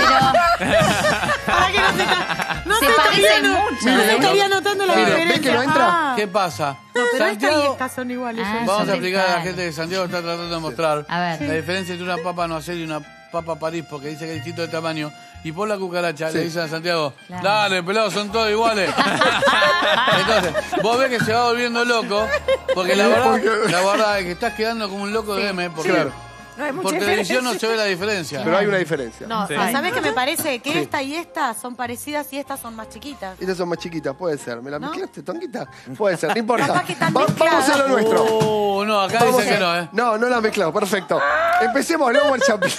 Vamos, lomo de champiñón con papa no sé, vamos. Vamos, vamos, a ver, lomo al champiñón, empezamos señor. limpiando un lomo, señores. muy bien. Sí. Fíjate, me voy a dar el lujo de comer un poquito de lomo. ¡Qué rico! ¡Qué lomo! Lomo grande, Sí. lomo grande. ¿Cuánto hay acá arriba? Se fue tarde. ¿Cuál- ¿Cuánto hay? Y acá arriba, eh, y creo que un- casi un billete de esos. ¿Casi un billete? Claro, 400. Hay un 500, ¿no? Sí, hay 500. Más. Pensé que Hay había un más, ¿eh? Para no, mí era no, más. no. ¿Y en Tremendo. peso? ¿En peso? Más o menos. Y en peso estás hablando de casi 3 kilos. Tres kilos de lomo. Qué bueno. Sí. Tarré dice que no se fue todavía. 100 170 el kilo. 170 el kilo. 170 el kilo. Bueno, depende. Sí, está bien. Sí, 170, sí. 140. Está bien, no le vamos Depende. a discutir a Juli, Bueno, obviamente. que venga corriendo Julieta Vení, y que Juli. el tráfico de lomo que hay en la Argentina. ¿Saben que hay tráfico de lomo de carne? No. Sí. ¿Saben que, que están Sí. los lomeros que trafican Sí. lomo de carne? El lomo, Sí, claro. sí. En las zonas donde no se Que ve. venga rápido. Arrancá a cocinar en el Dale. primer recreo. En el primer recreo, Julieta Tarrés te cuenta cómo se trafica el lomo. Bien, perfecto. Tráfico de lomo de carne. Dale. Es así. A ver. A ver, el lomo se divide en tres partes. Vamos a tener el cuerpo, sí, que tiene cola, corazón o centro y cabeza de Sí, lomo. sí. Y vamos a tener el cordón. Pero fíjate qué fácil se lo voy a sacar. El cordón Se del desprende lomo solo. se desprende solo. Es un músculo que realmente no va a tener mucha cantidad de carne, Ajá. va a tener una mezcla de, de- de nervios, carne y demás, que es esto que ves acá, que obviamente para hacer relleno, Claro. esto va perfecto, buenísimo, para hacer claro. un guisito, Guiso. lo vas a usar seguro. Sí. En este caso lo voy a reservar por ahí. Muy bien. Después tenemos todo lo que es la telilla o esta grasa que, fíjate qué fácil que se saca. ¿sí? En algunas carnicerías te, tenés un costo por el lomo limpio Claro. o el lomo que va a estar sucio. Pero si sale tan fácil, dámelo Sale sucio. fácil, Sí. tenés un poco de peso, ¿sí? algo de peso tenés en el Claro. cordón, vas a sacar un poquito de peso, fíjate que yo acá puedo retirar entonces esa telilla que tenés al principio y te queda este- esta parte plateada, Sí. que es- esto no se va a fundir en cocción, todo este tejido conectivo que es elástico y Claro. demás, se lo tenés que sacar porque si no pierde mucha terneza. Entonces, posibilidades para sacarlas, A ver. tenés varias. Una es, pasás ese cuchillo por acá abajo, Sí. ¿sí? Lo paso por ahí. De la cola a la cabeza, de la parte más finita a la parte más gruesa, Sí. voy a poner el cuchillo y voy a ir tirando para arriba. ¿Ves que se sostiene bien, Sí, no se perfecto. corta? ¿Se ve? Ahí voy. La idea es sacar la mayor cantidad posible de esta telilla y no Sí, sacarle sacar demasiada carne ahí. Ahora, para el final, voy a sostener y voy con el cuchillo hacia la cola. ¿De acuerdo? Perfecto. Siempre haciendo como una leve fuerza para Una arriba. leve fuerza para arriba. Muy bien. Lo mismo lo repito de esta manera, en esta parte. ¿Sí? Ahí va. O sea, es que la, la gente que limpia lomos, se dedica a limpiar mucho lomos, Sí. lo saca de una manera que es maravillosa, que los da vuelta, lo corta y ¡sac! Lo saca de un solo tirón, ¿Ah, sí? una sola vez, sí. Mucha cancha. ¿Practicaste? Eh, lo practiqué alguna vez, sí, pero la verdad es que no te sale muy bien. Yo trabajaba en un restaurante donde había gente de producción que se dedicaba, había mucho, salía mucho limpiar lomo, lomos. mucho lomo.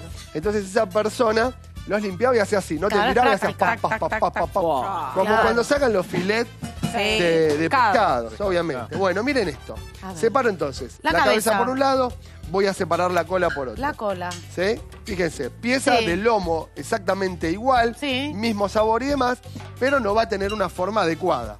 Yo entonces reservo la cabeza por acá y me voy a quedar con el corazón. Muy Sigo bien. con el centro del lomo.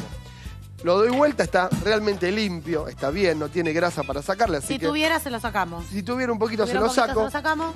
Y acá empezamos a separar los medallones. Sí. Medallones o turnedo de lomo. Ah, muy bien. ¿De acuerdo? Ahí va, gruesito, vamos a hacerlo lindo. ¿Sí? Vamos a sacarlo bien, bien lindo. Qué rico. Ahora, lo vamos separando. Fíjate, este realmente es un lomo que está muy bueno. ¿eh? Cuando digo que estoy hablando de un lomo muy bueno, estoy hablando no solo de, del color de la carne, Sí. vas a ver que no tiene prácticamente veteado, es una carne muy magra, Sí. muy magra, que al paladar argentino hay gente que le gusta y otro que dice, no, dame Quiero un un bife de poquito chorizo, claro. que tenga un poquito más de, de cuerpo. Para Ahora, hacerlo así siempre es preferible que tenga un poquito. que tenga un poquito que va a estar muy bueno. Muy ahora, estos ahora los vamos a bridar. ¿Qué te pasa con la cola? No, no sé. No sé. Crece. Ah, te. Crece, crece, crece, crece. No sé. Giorgini se le ocurre hacerme esa pregunta al aire? Claro. No sé, yo de verdad te lo digo. No, No. sé si es personal. No, para nada. estaba Te miró, hablando de te la miró, cola, Cari, no. te miró a Ah, vos. no de mí, no de la mía. Nunca, no. Y ahora no. con la cabeza pelada. Pensé que habías visto algo raro. No, para nada, para nada. Está todo muy bien, perfecto. Vamos con la cola del lomo. Ah, ok. Sí, Perfecto. Fíjate, si yo hoy estos medallones los corté más chiquitos, acá lo puedo cortar más grande. Y después le hago un corte a la mitad sin llegar abajo. Lo voy a plegar. Y acá Truco, truco. te voy a sacar un medalloncito más de lomo como para sacar seis del corazón. ¿Se ve? Aprendimos Perfecto. algo que se puede hacer con la cola. Sabes que en las, lomo. en las empresas de catering, en las Sí. empresas de catering, muchas veces te dicen esto y le entran a meter como loco. No te sacan. Mete cola. Exactamente. Ahí va, mete, no se ría, Zampini, por favor, se lo pido. Soy un tipo un cocinero serio como yo, por favor. Qué barbaridad. Bueno, A ver, Giorgini. el bridado del lomo es fundamental. Y acá sí, viste que yo a veces ¿Qué digo, es bridar? Bridar es atar, Ah, darle forma. muy bien. Bridar Claro. todo. Acá agarré la colita y la, La abrí. bridaste. Perfecto. Sí. Ahí está. Entonces, ¿por qué lo tenés que bridar? Porque fíjate que no. Es un amorfo ahí, que no toma, Es por no una toma cuestión forma. estética. Es Que estética. se ata, es para que no se deforme en la para que te quede ese medallón lindo en cocción, ¿de acuerdo? Entonces, Perfecto. ya estoy atando, estoy bridando y empiezo a sellarlo, a cocinar el lomo, porque se viene el lomo al champiñón. Oh. ¡Qué rico! Gran Menú plato. retro. Sí. Porque hoy Obvio. tenemos un Morphy retro. Hoy ¿En viene serio? Vilma Palma. En un ratito van a Sí. estar Pero qué lindo. Vamos a cantar con los twists. Buenísimo. Lindo programa, divertido. Mucha música, mucho baile. Ahí vamos. Bien, perfecto. Vamos con esto entonces. Sí. Sí. Ya tenemos el lomo bridado. Sí. Perfecto. Atado, para que Dato. tome forma. Muy bien. Ya mismo, ahí, mientras voy atando, Sí. te digo que invertí un poquito y tengo un poco de manteca acá. Sí. Ajá, ¿Sí? mira. Esto lo tenía guardado, chicos. En un la poco caja de, de seguridad. manteca. Sí, caliente y vamos a empezar a hacer la cocción de este lomo. Ahora, ¿por qué arranco con manteca ¿Por qué? ¿Por qué? y no con aceite? Porque el lomo al champiñón, el clásico lomo al champiñón, va a llevar crema. Si yo uso aceite, van a quedar los ojitos de crema ahí que no van a estar buenos. Claro. Mientras Zapine me va bridando, Sí. yo empiezo a sellar los lomos. Ajá. ¿eh? Un buen sellado de lomos. Voy a poner un poquito de sal y algo Sí. de pimienta, por favor, Qué rico. sobre el lomo. Mira qué bien, qué maravilla. Qué bien, equipo, ¿eh? Eh, hay bueno, equipo, ¿eh? Sí, hay te usé equipo. un cuchillo que no sé si me vas a retar. No, que te lo para nada, para úselo, eso. úselo. ¿Me, me, me bridas el otro? Está bien. Ah, este falta, mirá. Este falta uno, sí, por favor. claro. Fíjate, importante acá. ¿Querés que salga bien? ¿Querés Sí. que esa carne te quede perfecta? Sí. te la pones ahí. La mirás. Dejás que se selle. Vos agarras la pinza de carne, lo que tengas en casa Sí. para moverlo. Tratá de no pincharlo. Como primer medida, tratá de no pincharlo para no sacarle. eh, ¿Va? va, meta, meta, meta. No lo molestes. Vamos, Cari. Grande, Cari. Ahí va. No lo molestes. No lo molestes. Bien. Lo importante es no moverlo para que quede bien pegado. Rodrigo Cascón me marcaba que me faltaba sal a uno de los bits. está. De los, mirá, Ah, ya Ah, y ahí mirá llegás qué a este bueno. momento. Ahí va. Color. A ver, ah, Esto- Selladito, perfecto. selladito. Bien selladito. Clarísimo. Riquísimo. Color Qué bien huele esto, Ah, ¿eh? y bueno, y esas son las ¿Qué cosas. hora es? 11.21 de la mañana, ya me está dando hambre. Claro. Ya podemos comer, ¿no? Esas son las cosas, puede ser, puede ser. Esas son las cosas que te empieza a dar la manteca. Sí, ¿eh? claro. Terrible, la manteca te da un sabor, en este caso que es maravilloso. Ahora, doy vuelta a la tabla, Sí. lavás la tabla, cambiás la tabla, lo que vos decías en tu casa. Así es. Porque empezamos con los champiñones. ¿Sí? Champiñones y cebolla. ¿De acuerdo? Tenemos que trabajar con los champiñones y nos vamos a encontrar con los champiñones clásicos, champiñón de París. Sí. ¿Sí? ¿Se acuerdan que hace un tiempito yo te dije champiñón? Mira, si está muy blanquito, no lo compre. Sí. ¿De acuerdo? Cuando vos compras el champiñón tiene que tener cierto colorcito. Claro. Entonces, yo me encuentro con los champiñones, en este caso que los veo, Ajá. que tienen cierto colorcito, hay un poquito de tierra ahí. ¿Se y lava? Los tengo que limpiar. ¿Cómo Bien. se limpian? ¿Cómo se limpian? Si tenés pocos champiñones como estos, Sí. vos agarrás un trapito limpio y vas limpiando uno Hongo por por uno. ¿De acuerdo? Champiñón por champiñón. Ahora, tenés mucha cantidad, ¿sí? Tenés mucho más que esto. Te lo voy a enseñar para que lo puedas ver y veas cómo. De se una manera limpia. más Perfecto. práctica. Qué bien Ajá. que sacudiste el repasador. Me encanta hacer eso. Sí. Lo vas girando muy bien. Fíjate, agua, ver. agua fría, Sí. trapo seco, champiñones. Es una duchita rápida. Ah. Sí, una duchita bien estás rápida. apurado, ¿viste? Ahí está, Sí. fíjate, agua fría. Pongo los champiñones ahí. Apenita, mira, mira, mira. Los muevo un poquito. ¿Y shampoo, crema enjuague? No, nada, nada, No, nada. no, no. Y ahí me secás los champiñones. El champiñón es como si fuera una esponja. Se va a tomar todo el agua que vos le pongas Sí. y no te va a quedar bueno. Después no va a quedar bien el Por eso la ducha es rápida. Es muy rápido con un poquito de agua fría y rápidamente lo secás. Entonces, vamos de nuevo, mira, Sí. ahí. A ver. Champiñones ahí, lo pongo en la mano, cuatro, Rápido, cinco. rápido, Lo no que te baño de en la mano, inmersión, mira, ¿eh? ¿ves? No. No, no. Lo vas moviendo ahí. Sí. Basta, basta. Basta. Listo, listo, listo. Escurro Ahí y va. mojo. Mirá Eso lo cómo queda el podemos agua. hacer con Sí. Gerardo, ¿ves? ¿Esto? Es una tarea fácil de hacer. Chicos, a ustedes Sí. esto Bueno, no les Eso es fácil de hacer, ¿ves? Para otro día. No, no, no. A vos Yo se- quiero que tengamos ya, a partir de hoy, cuidado con Pepi, porque después de lo que hizo ayer con el mantel, Sí. eso de la motricidad fina, nula, eh. Ya no existe. No, no, Claro. mirá, la mo- no, eso no es motricidad fina. Te mostró un talento. Tiró un trapo de... ca- Perdón, perdón. Qué bien lo hizo. ¿Quién Pero vos- arrancó la core- a la gente le digo, para Sí. que no recuerde, digo, Claro. ¿quién arrancó la coreografía hoy con Tutú? ¿Nosotros los cocineros? no, no, ¿O no. ellos? Sí, otros no. Pero ¿quién tiró Vamos, casi todo de la mesa ayer? No tenía práctica. De hecho, vi en un chat privado que tenemos Sí. que hubo práctica. Me enteré después. Además, los, los secretos te lo dijeron después de que vos lo hiciste. Y lo voy a decir acá. Ah. Lo vi. Hubo denuncia, gente que denuncia. practicó. Mira. Practicaron y yo no había practicado. Fui ahí, a toro, me hice un toro. Ahora, bueno, te vamos a dejar Lento, practicar a ver cómo te sale, Georgina, entonces. Bien, champiñones. Limpio ya, Champiñones limpios, perfecto. divinos. Solamente me lo vas a cortar en cuartos. Nada más. Nada más. ¿Querés hacer un súper trabajo? ¿Querés que tu lomo al champiñón quede riquísimo? Sí, claro. Sí, Como quiero. cuando ibas, no sé, qué sé yo, ibas con tu familia y te pedías un lomo al Eh, champiñón. te sentías importante. ¿Cómo se consumía el lomo Sí, de champiñón ¿Cómo en esa salía? época? Claro. Vitel toné y lomo de champiñón. Obvio. Sí. Yo hubo un restaurante con Y mi... Suprema Maryland también. Ah, obvio. Y la... Esa era entre 80 y 90, 80 era tremenda, tre- salía como loco. Yo hubo un restaurante que ya no está más, estancia chica, en Temperley. Sí. Y mi papá decía, lomo al champiñón. Yo, ¡Qué ¿Qué cumpleaños de alguien? ¿Qué pasó? Era increíble. Bueno, ¿para qué ese champiñón? Más o menos. Para eso, más o menos le estoy diciendo acá a mi amigo Rodrigo. ¿Qué? ¿Cómo viene el dorado? Bueno, Hermoso. hermoso. Fíjate lo que hicimos. Mirá. Estamos dorando de la parte de cada una de las caras y de los costados también. Eso vi, Sí, Ahí eso va. vi que Listo. haciendo. Ahora, me traigo una plaquita, me traigo Sí. un plato y los voy a separar. Guarda ahí, ¿Sí? ¿dónde está? Sí. Ahí está.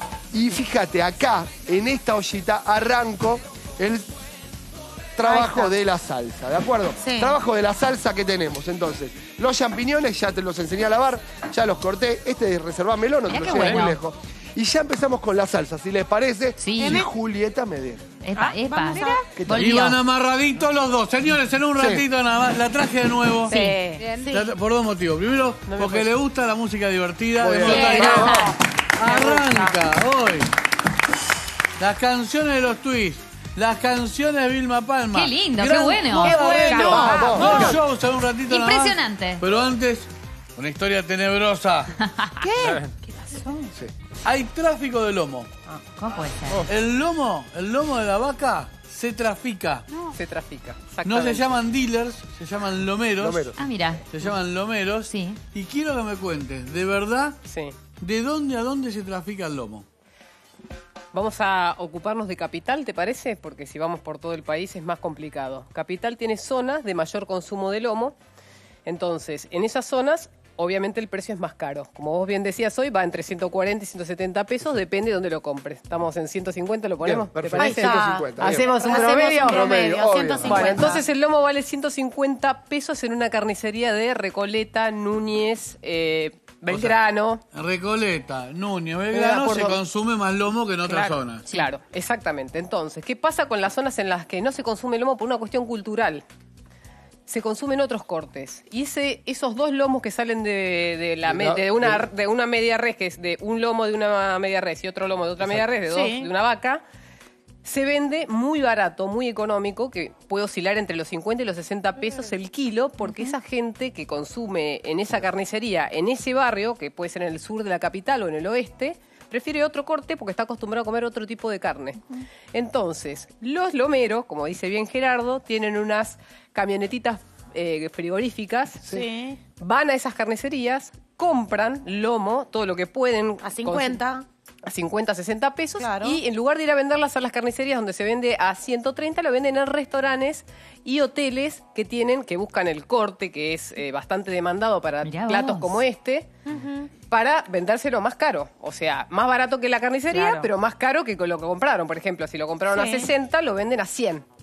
Y entonces eh, ya hay un negocio en el medio para el restaurante que compró en lugar de comprar la carnicería. Claro. Muy bien. Pará, Eso si es vamos legal. a- ahora bien, ¿Cómo es, un, sabe? es un tráfico legal. No están haciendo nada, digamos, están comprando y Es en vendiendo. negro. Es Más infamante. o es- menos. es el negro. Más o Claro. menos puede ser negro. Claro. Todo esto se, se lo da. transportan, el frío, todo Claro, es- no está, no está No, bueno, pero controlado. supongamos que esté, que digamos, es un, es un negocio que Es si- un si negocio de la paralelo ley, al- al- es un negocio rentable Sí. que puede estar dentro de la ley también, ¿o no?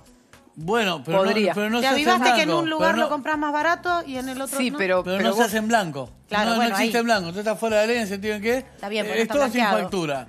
Claro. Es todo Sí. sin factura. Queda algo en eso, perdón. Si yo voy a esos barrios a comprar lomo, Sí. ¿consigo o los lomeros arrasan al toque? Y capaz que tenés No, suerte y se conseguís. En general, están todos preparados para ir temprano cuando llega la carne y Claro, comprarlo en el momento que lo tienen para no perderlo. Pero ahora se da un fenómeno inverso. esperar ahí el camión Ahora se da un fenómeno que los falderos. ¿Cómo lo falta? Ah. Los falderos ¿la son los que compren fal- compran falda en los lugares, los barrios donde se vende lomo caro Claro. y la gente no consume falda. Por ejemplo, Recoleta, Belgrano, Palermo. Mirá. La falda es más económica que en los barrios del sur y el oeste de la ciudad de Buenos Claro. Aires. Sí. Y entonces, ¿qué pasa? Cuando ahora cayó la construcción, la falda se usa para comer asado, en la obra, Claro. en El las obras. obra. El asado de obra, exactamente. Como cayó la venta de falda, la falda está más económica, entonces en los barrios en los que se demanda falda, se hace el lomero deja el lomo, compra el lomo y deja la falda y a la inversa. Impresionante. Negocio redondo. Aplausos para Julieta Tarrés. ¿Cuánto le falta que quiero joda? Bien. Quiero escuchar los mismos chipolates Sí. cantar. ¿Cuánto falta? Poquito, nada, minutos. Termino la salsa. Muy ¿A bueno. empezar? Dale, vamos, vamos perfecto. No vamos de Gracias, Muy bien, Juli. acá sellamos nuestro lomo. Acá sellamos el lomo. y Tiene un poquito de manteca. Tiene este dorado que le da mucho sabor.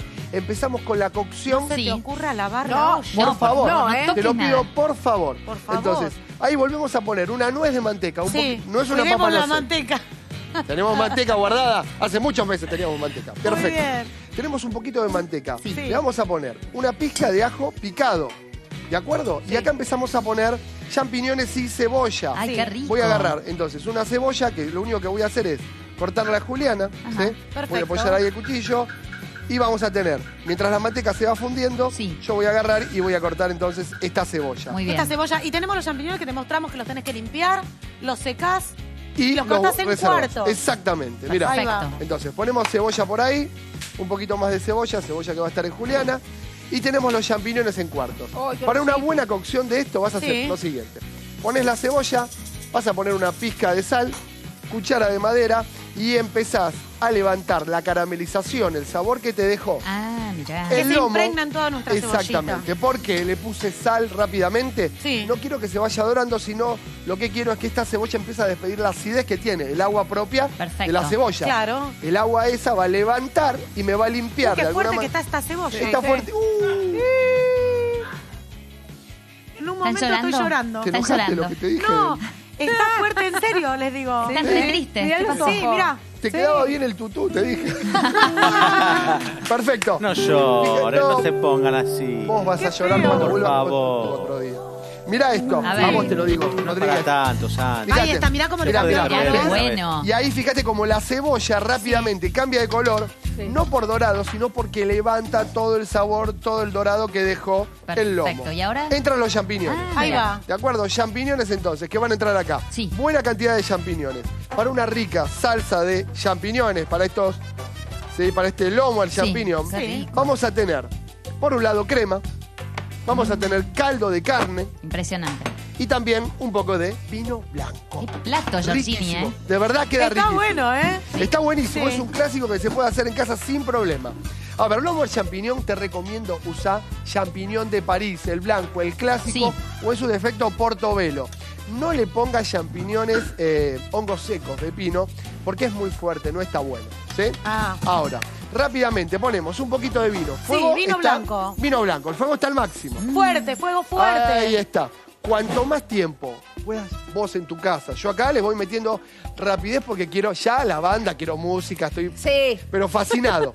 Vos en tu casa, cuanto más tiempo puedas dorar el champiñón, mejor. Ah, dale, dale, dale, dale, sin tiempo total. Perfecto. No, lo vas y una vez que lo vemos a- doradito ahí, recién le agregamos el vino blanco. Ahí le pones el vino blanco. Muy bien. Mira, vino blanco. Empieza a romper hervor Sí. y le voy a poner caldito. ¿de ¿Caliente? acuerdo? No, no. Acá puedo arrancar con Ah, caldo, bien. temperatura ambiente. Ahí. Caldo de De carne. en este caso, no tenés de carne, caldo de verdura, no hay problema. Muy bien. Después ponemos una guarnición aromática. ¿Qué hiciste ahí? Sí, acá hice un buquet. ¿De qué? buquet.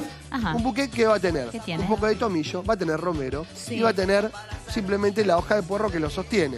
Bien. Un buquet clásico de este tipo tiene un poco de laurel, tiene perejil y tiene apio. Yo solamente hice un buquet aromático con tomillo y romero y la hojita de puerro para sostener. Muy. Excelente, porque Mirá. el buquet, te decimos siempre que lo usamos, ¿Qué, es para ¿Por qué, poder retirarlo después, porque no queremos que queden las hierbas en la comida. Exactamente, es más Entonces hacemos fácil. un atadito y después lo sacamos con facilidad. Muy Exacto. bien. Ahora, puse el caldo, el vino, ya evaporó todo el alcohol. Bien. Se vienen los lomos, los medallones de lomo se vienen de vuelta. Qué rico. En este, en este momento le voy a incorporar Crema de leche. crema de leche, crema de leche. ¿Cómo se usaba la crema en esa Uf, época? salía Mucha como- crema, ¿no? Mucha, mucha, mucha, mucha Sí. crema. Ahora, detalle, acá el Sí. hervor suave. Si vos servís esta crema a mucha temperatura, o sea, al máximo de volumen, podríamos Sí. decir, eh, la hornalla se va, puede llegar a cortar la crema. Y Ah. no quiero eso, ¿de acuerdo? sí. Entonces, baja temperatura y vuelven los lomos. Qué los delicia. lomos que están crudos, ¿sí? solamente Están solo sellados. solo selladitos, Claro. vuelven acá. En- rico. va a ¿Por qué pasar- se come carne? Se va a Yo empezar a no. cocinar. Esto no- no. ¿Qué pasó? Ya. Casi, casi. No ¿Qué hice iba a hacer? nada, ¿Qué no iba a hice hacer? nada. ¿Qué pasó? El juguito. No. Este juguito que te dejó el medallón sellado. Sí. Qué Por feo. favor. Ahora, fuego suave, se cocina el lomo y tenés listo el lomo de champiñón. Arrancó, aplauso grande, se pone lindo esto. Bravo. Mañana en mediodía retro. Vas a escuchar las canciones con las que te divertiste, con las que bailaste. En los 80 y al principio de los 90. También, sí. Teníamos 13, 14 años en mi caso, en el 83, 84, en el caso de Chufa también. Aparecía la democracia y todas las canciones que hablaban del tiempo que se había vivido eran, como es lógico, después de un momento tan amargo en la historia, eran dramáticas, tenían el peso de lo que habíamos vivido. Y apareció uno que lo contó en joda. Y apareció uno que nos dijo, vale bailar, vale divertirse, ya está, ya salimos de la oscuridad. ¿Por qué no nos vamos a divertir? Así es. Y apareció con toda la onda del mundo, con todo el humor del mundo, con una voz inconfundible, con melodías que llevamos en el corazón y que nos obligan a bailar directamente. Por eso es un lujo para nosotros que vuelva a la tele acá, en Morphy, con una banda de pibes que eran fan de él. Sí. Una banda que suena muy bien y que venía a tocar Se con juntaron, nosotros. Qué bueno. la Se están juntaron. rompiendo. Arranca la mañana retro con... Pipo Chipolati y los heladeros del tiempo. ¡Bravo! ¡Bienvenido! Pensé que se trataba de Cieguito.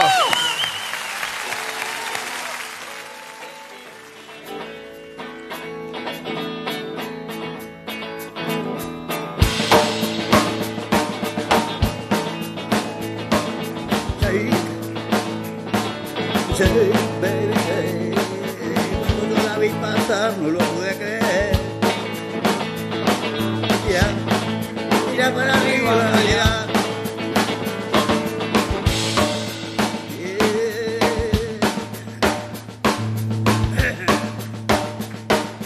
Pero sábado a la noche tenía plata y hacía calor, me dije que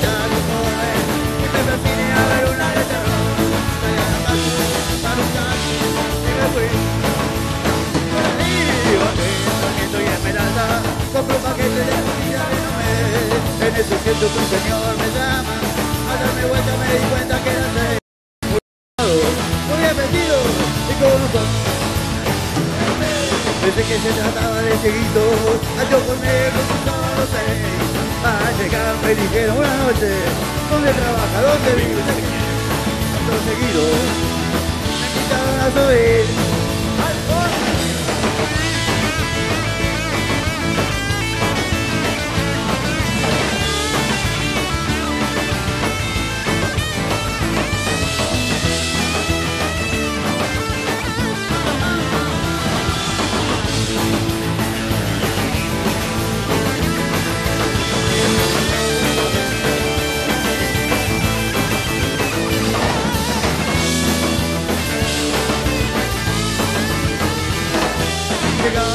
edificio y comportándose con toda corrección me sometieron a un breve interrogatorio que duró casi cuatro horas sin torsión. Eso muy tarde, dijeron, no es colectivo.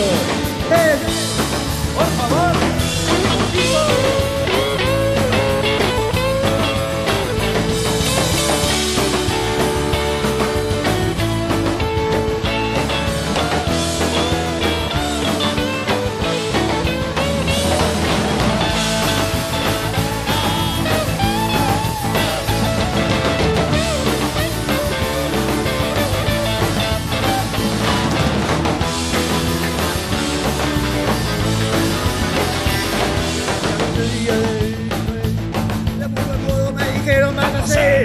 me devolvieron mis cordones y mis cintos. Los tenían ellos, no les pregunté por qué. Cuando salía, me prometieron, lo aseguraron, lo repitieron. Lo volveremos a ver.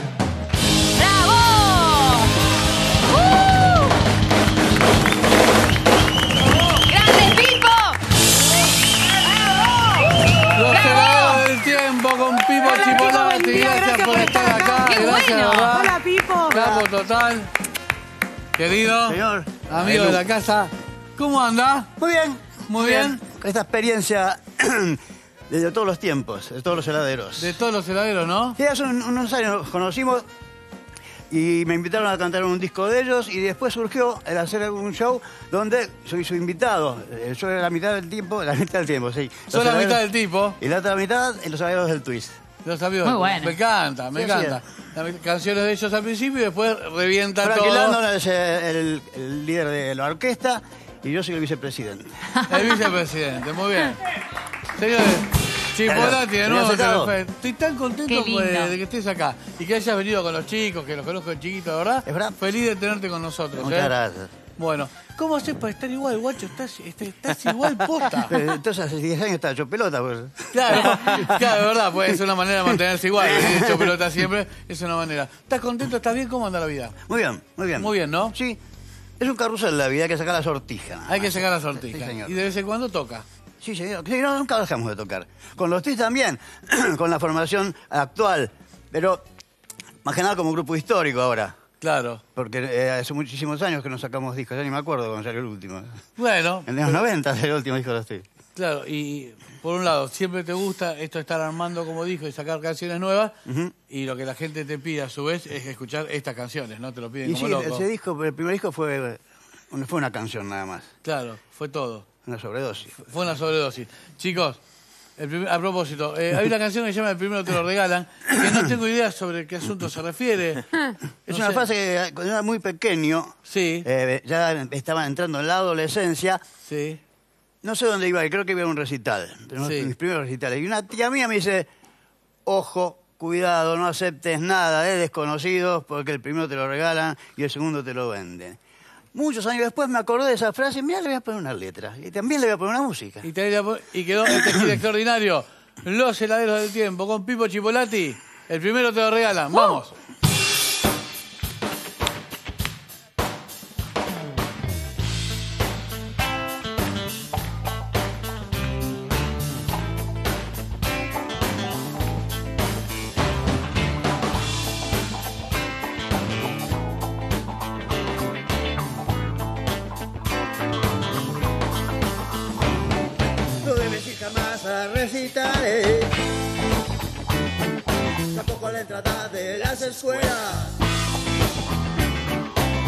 Acechando los chacales.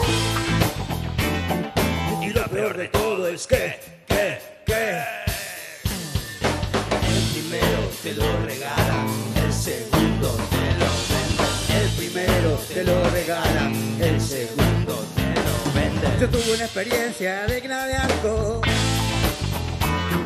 Fue justo a la entrada de un recital. Un me ofreció un caramelito. Me lo comía, parecía en Bagdad.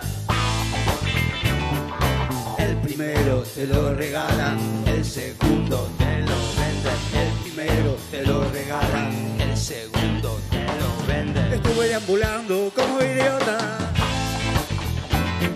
Me sentía muy bien, quería más. A la salida le pedí y me dijo: Si querés otro tenés que pagar.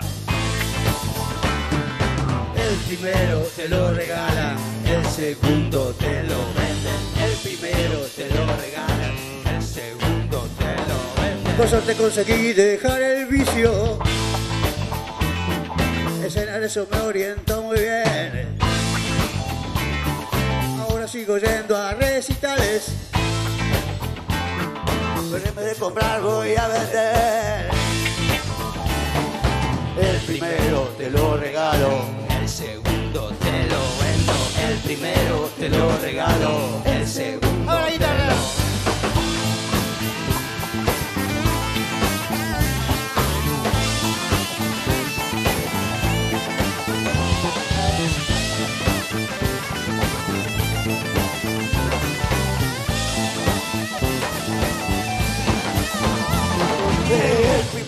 te lo regalo, el segundo primero te lo regalo, el segundo te lo vendo.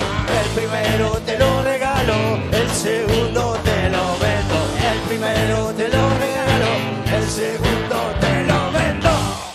¡Bravo! Pipo Chipolati, me gustaría saber cómo fue en aquel momento. Cuando a saber. Hacer una canción de este tipo. ¿Cómo te miraban? Ibas a la tele y cantabas el primero, te lo re- No, y no Eh, me dejaban cantar en ningún lado. No te dejaban cantar No, cuando salió Dicha en Movimiento, salió en el 17 de octubre del 83. Todavía no, no había comenzado la democracia. Y tenemos ocho temas prohibidos en las radios. Ocho temas Sí. prohibidos. ¿Y el disco cuántos temas tenía? No, y tenía 13, creo, 14. Podía pasar Cleopatra nada más. me acuerdo. Cleo, Cleopatra, la reina del Y de a poquito, creo que fue la Lomir el primero que se animó a poner cieguitos. Otra vez la Lomir. Sí. Otra vez la Lomir abriendo una puerta, ¿no? Para las canciones. Señores, Pipo Chipolati, protagonista de estas fiestas retro. Hacemos platos de los restaurantes de los 80, de los 90, hacemos un lomo champiñón con papas, no sé. Rico. Viene, no sé, no sé. Viene Vilma Palma en Muy un bien. ratito acá. ¡Es vampiro! ¡Qué vampiros! ¡Eh, vampiro! ¿Qué nombre, eh? Uh, da miedo. Da miedo, un nombre que da miedo. Pipo, le preguntamos a todos los artistas que vienen con Karina lo mismo. Tu respuesta me da un poquito miedo, pero me divierte. ¿Me contás el peor show de tu vida? El mejor fue. el resto es un desastre. Y no sé, habría que hacer. Son Mucha muchos, memoria, ¿no? Muchos, sí, no. Tengo- me- cuando era más joven tenía más más memoria que Helbun. Ahora ya. me suelo olvidarme de muchas cosas. Pero no sé. Un show malo, hubo- un show que decís, ¿cómo El primero puede que se ser? te venga a la mente. ¿Por qué pasó? El primero creo que fue. Porque no, no eh, mal show, sino la- lo que nos sucedía con el público. Que fue cuando tocamos, cuando comenzábamos recién, en el circuito cadete, el día de la primavera, hablo del año 83, ¿no? 84. Estaba repleto de jóvenes. que- Claro, todos El contentos. primer grupo que tocaba éramos nosotros. Sí. Y los jóvenes, como eran diferentes los grupos que tocaban, tenían arsenal para tirarle a, a los que no les gustaban. Claro. Pero ponele que la gente que fue a ver solo le pido a Dios. Ponele que iban a ver otro tipo de ¿quiénes música. tarados de chalequito? Bueno, y tenían todo, nadie había empezado a comer, tenían todas las naranjas, las bananas. Los tomates, todo. me- yo estaba haciendo el solo del primero te lo regalo y me estrellaron una manzana en la guitarra. Feo. Y encima me la había prestado Basterrica, todo mal, se la toda pegoteada. O sea que la- eh, fue, Rolo para tocar esquivaba los naranjazos. Impresionante. Ese fue lo malo de verdad, ¿eh? Sí. ¿Y eso por qué? Pues esperaban otra música, ¿no? No sé Era qué esperaban, No nosotros saben. pasa que no. Claro, ustedes evidentemente no. También- ¿Hicieron todos los temas igual o abortaron la misión y dijeron, chicos, No, acá sí, no, seguimos. Siguieron. Después eh, también hubo otro cuando ya eh, eh, éramos nosotros solamente los que tocábamos, fue un montón de gente y también nos tiraban barro. o sea, se ve que algún problema había, a veces. Y yo me había puesto un saco blanco. Parecía esa cebra después. y escuchame, Pipo, de las canciones que te pide todo el mundo, ¿cuál es la que más te divierte hacer y cuál es la que decís, hoy otra vez que te da fiaca? Y no, depende del estado de ánimo. Ah. Si me piden una que no tengo ganas de hacer, no la hago. Digo, comprate Así el disco, no me rompe, claro. Claro. Pero aparte no escucho mucho cuando me le grita la gente eh, y aparte gritan por ahí diferentes títulos. Entonces elijo a la sala que más me gusta estar las que están pidiendo. Y otra cosa mariposa. Claro. Ah, pediste bien. Bien, muy bien, bien No, elegido. pero yo había pedido, no. No, el señor no. cantó. El señor cantó Claro. primero. El señor cantó Y primero. ahí me tiran barro, entonces. Escúchame, eh, ¿cuál es la canción que más veces cantan- cantaste en tu vida? Y pensé que se trataba de seguidos, Sí. seguramente. Sí, ¿no? ¿Y, y esa la escribiste vos? No me acuerdo. ¿Mm? ¿Esta la escribiste vos? Esa la escribí yo. Sí. Es, muy- es una canción muy particular porque la gente conoce la letra, Sí. pero el tema no tiene estribillo. ¿No tiene estribillo? No tiene estribillo. Las canciones, por ejemplo, el estudiante sabes el estribillo, pero Eh, no te sí, acordás todo. claro. En cambio, seguidos no tiene estribillo, tenés que aprenderte la letra a la fuerza si la querés cantar. Y la gente se la aprende toda. ¿Se aprendió? Se la aprendió toda. Menos el que pedía la otra. Claro. Qué bueno, no, me he dado, no me he dado cuenta nunca. No me he dado cuenta Yo me di cuenta un tiempo después, ¿eh? Ah, ¿sí? es verdad, sí. No, muy bien. No presté atención. Digo, ¿qué, pasa? ¿Qué- ¿cuándo venía la parte del estribillo? No venía nunca. Y, y- y- Terminaba el tema y digo, ¿qué carajo pasa? Claro, terminaba el recital incluso a veces, ¿no? Nos peleamos entre nosotros, inclusive. Sí, dale a alguien que traiga el estribillo. No, yo no fui. Bueno, es un tema que tiene, que tiene una letra eh, importante y que uno la, la- la canta casi sin prestar atención muchas veces. Eh, uno se divierte cantando una letra que tiene un peso en una época este, importante. Claro, exactamente. ¿no? Eh, Es una de las pocas eh, canciones que salió en aquella época que de alguna manera retrataba el horror de la dictadura, pero que lo encaraba por el lado más callejero y si querés más fresco. O sea, Era más elegante el formato, porque yo me acuerdo que hasta los policías me decían, ¿pero cuándo cuándo nos haces otro tema? No lo tomaron mal. claro, no lo tomaron mal. ¿Le gustaban los policías o los ladrones? Está muy bien. O sea que hace mucho tiempo tenemos que cantar, no se van de acá sin cantar el estudiante. Quiero contar, quiero contar que junto a los heladeros del tiempo se van, a, se van a presentar en septiembre en Rosario, Santa Fe y Paraná. en Paraná. octubre en Corrientes, Chaco y Posadas. Y que la banda, que suena bárbaro, ya se dieron cuenta, los heladeros del tiempo, son como el de Roots de Vivo Chipolate. ¿Viste esas bandas que tocan con solistas? Hay un ratito que tocan las de ellos, la mitad del show tocan las de ellos, y después viene Pipo y corona el show con aquellos clásicos. Los muchachos son. Simultáneamente. Simultáneamente. Claro, corona el show, corona el show. Cuatro tweets. Hashtag Morphy Telefe. Sí. A ver, A través de la Twitter. gente te escribe cosas. Sí, Ah, mensajes sí, para mira. Pipo. Cosas. Hashtag MorfiTelefe a las Sí. 12 del mediodía. Mensajes de Me la gusta, gente Sí, a través de... están por venir. Ahí Sí, llegan, las ahí redes llegan, ahí llegan. Están, Ahí llegan. pensando. Ahí sí. Miguel. Qué alegría verlo a Pipo. Gracias, muchachos. Morfi Telefe. Muy bien, uno más, por favor. Valeria. Pipo, genio. Qué lindo escucharte. Gracias. Hashtag Telefe dice Camila, qué buen programa el de hoy. Muy, muy buena música, mucha buena música. Pipo Chipolati. Me encanta. Uno más, a ver, uno Ay, más. ay, ay. Adriana, Pipo Chipolati me hace acordar cuando era chica, nada, se pasan. Volvamos a los 80 y 90, la mejor época, sin dudas. Bueno, pa- pa- y siempre la mejor época es aquella época donde la Yo pasaste. voy a volver a los 80 cuando cumpla. cuando cumplas los 80. ¿Cuál es la época de tu vida en la que mejor la pasaste? Así como cuando muchos escuchan tus canciones, las asocian a lo mejor de sus propias vidas. ¿Cuál es la época de tu vida donde mejor la pasaste? Quizás sea ahora, quizás de chico, yo qué sé. Eh, Hay, hay tres etapas. A ver. La verde, la azul y la roja. Ah, mira. No, no sé diferenciarlas, igual por eso puse diferentes nombres, diferentes colores. Y las tres son hermosas, maravillosas. Sí, ¿no? Las guardo en el más fondo profundo de mi corazón. Muy bien, un tipo que ha sido Y en la feliz. reunión guardo otras. Claro. Sí, no sé, muchas, hubo momentos muy lindos. Sí, ¿no? Porque tuvo muchas etapas la- eh, con la banda. La primera época fue eh, muchos viajes, recorrer por el país, hasta llegar a, a Europa, inclusive, así nos echaron después. Y... ¿De Europa te echaron? Sí, pues terminó el contrato. Ah, bueno, no era tan grave. que ir. Nos echaron dos veces. y, y después hay muchas aventuras. Muchas aventuras, Sí, ¿no? que no recuerdo. Quizá no la recordás. Pero, esta- Pero- eh, pero lo que en el te mismo decía- lugar donde guardaba las otras de colores, ¿viste? Y el recuerdo que te llega de esas aventuras era más bien de noche, ¿no? Sí, porque eran de día viajábamos. De día Llegábamos, viajaban, claro, claro, de día dormíamos y viajábamos. Muy bien. Enseguida viene Vilma Palma, pero yo antes, antes de que haga el Estudiantes, antes de coronar este show con un clásico, ya más de los 90, el Estudiantes es como la segunda etapa de los twists, es así, ¿no? Sí, a pesar de que el tema no, no fue compuesto. eh, Originalmente se lo compuse antes de empezar con los twists. ¿Ah, lo sí? había compuesto para Martín Caradagian. Claro. En el año- a fines de los años 70. Yo recién empezaba a ser músico. Después no, no, no se hizo el programa Titanas en el Ring. el- el- la canción me la metí en, en re- recuerdos. La guardaste. En el baúl. Mucho tiempo después, dije, "Ah, estaba buena esa, pero le cambié la letra. La letra original hablaba de un luchador que en vez de pelear se iba al rincón a estudiar y lo cagaba a trompada. Y se transformó en el Estudiante. Y sí, se transformó en Que se convirtió en un himno. Un himno en el Día del Estudiante. Bueno, hablando de de se hoy. convirtió en un himno. Una vez lo estaba entrevistando en la pregunta animal y le pregunté por sus amigos. Y me miró fijamente y de la nada peló una canción que nadie, que se fue inventando en el momento y que después se hizo viral total, que es Roberto Carlos. Roberto Carlos. Yo le voy a pedir que te traigan la acústica Para poder tocarlo. para poder tocarla. Después se hizo canción, ¿no? ¿Eh? O sea, esa improvisación Sí. la tuviste que la Sí. tuviste que hacer muchas veces en los shows al final, ¿no? Después sí, le iban sumando estrofas y cositas. Yo le pregunté cómo era, si tenía muchos amigos, pocos amigos, y el tipo arrancó. Yo solo quiero. Solo quiero, laray, laray, la. Yo solo quiero, laray, la. Pero no quiero cantar solito. Yo quiero un coro de pajaritos. Quiero llevar este canto amigo a quien lo pudiera necesitar. Quiero tener un millón de amigos, así más por poder cantar. Quiero tener un millón de amigos, así más por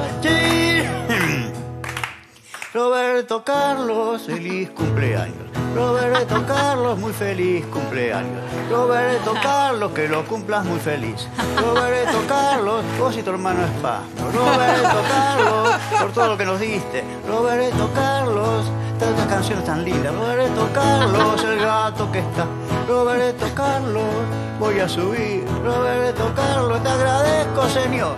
Roberto Carlos, no te mueras nunca. Roberto Carlos. Nació en Brasil, Roberto Carlos se viste de blanco.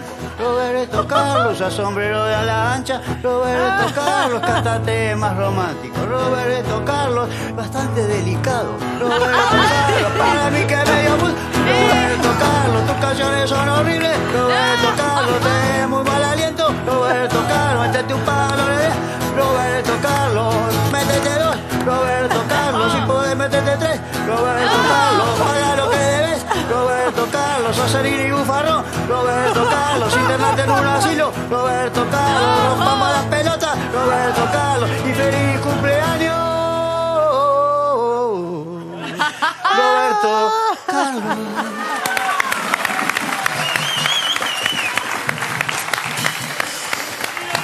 Qué grande, tipo. ¿Qué hijo de su madre? Y salió de casualidad y se hizo canción. ¿Eh? Salió de casualidad y se hizo canción. Espera que me cae. ¿Vos sabés, vos sabés lo que se está haciendo en entrevista en serio con un tipo?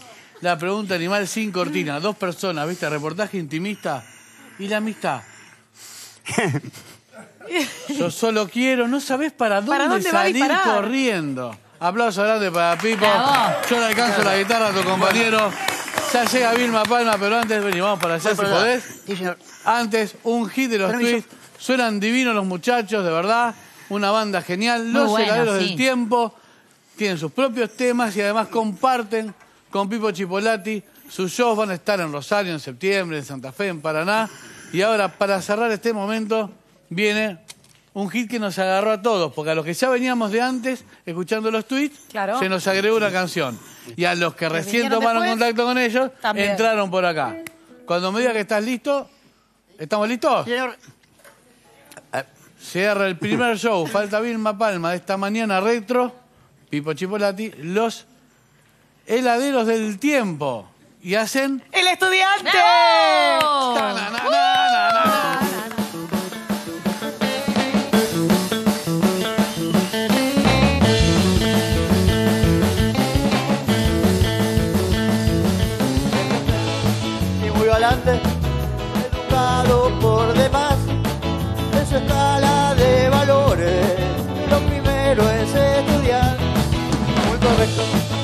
Modales, moderado al criticar, nunca se copia de nadie y a nadie deja copiar.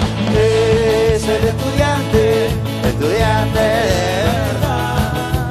Es el estudiante, el ejemplo universal. La, la, la. Y los estudiantes te queremos saludar. Esta canción con y compasión. Estudiantes, estudiantes, estudiantes.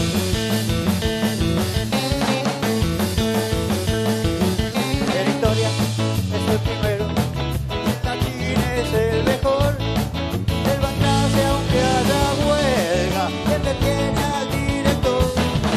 Sus amigos lo idolatran,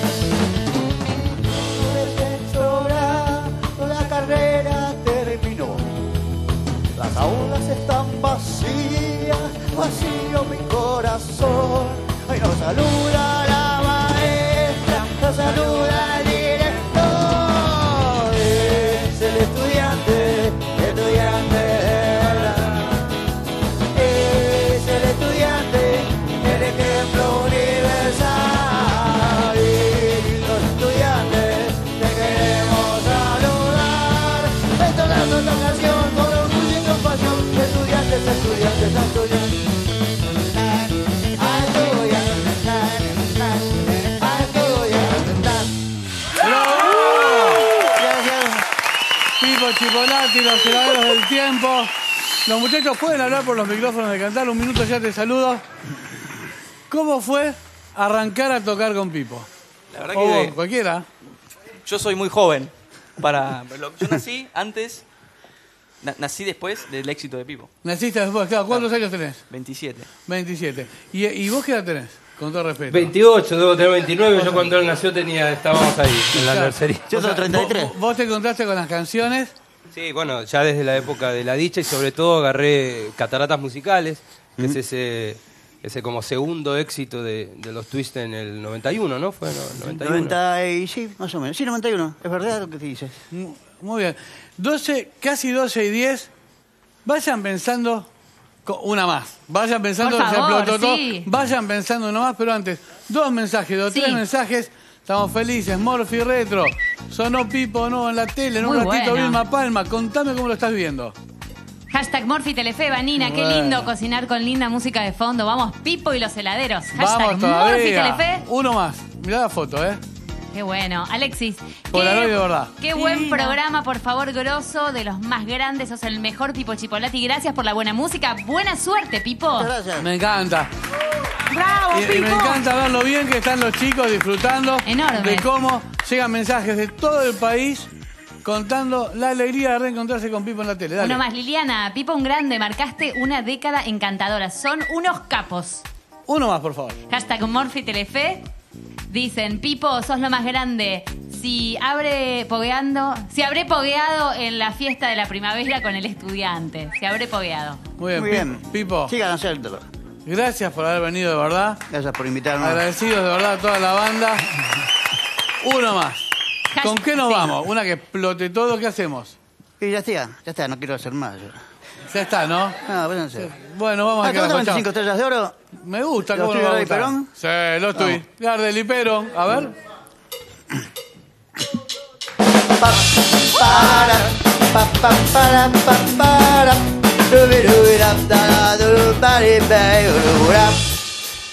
Bom, bom, bom, Desde la cancha de boca hasta el Luna Park.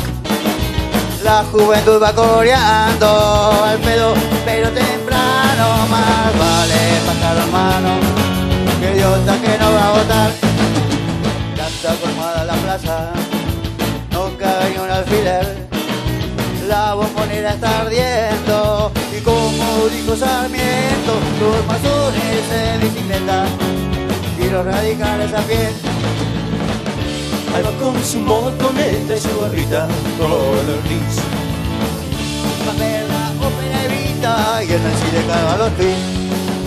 Y el CIDE Carvalho estoy. Mi general no se vaya, general ya se fue. Nazo, nazo, nazo, nazo, nazo, se viene el cordonazo, la botana, los carteles. Y cuando mi cuerpo den por ese gran argentino conquistar a la gran masa del pueblo, combatiendo al capital. Vamos de cara al trabajo y del trabajo al hogar. Los Marcibero, Mazzolini, Simeone, Rati, Menéndez, los Carrojitas, Pianetti, Alfonsín, solamente, Alfonsín, solamente.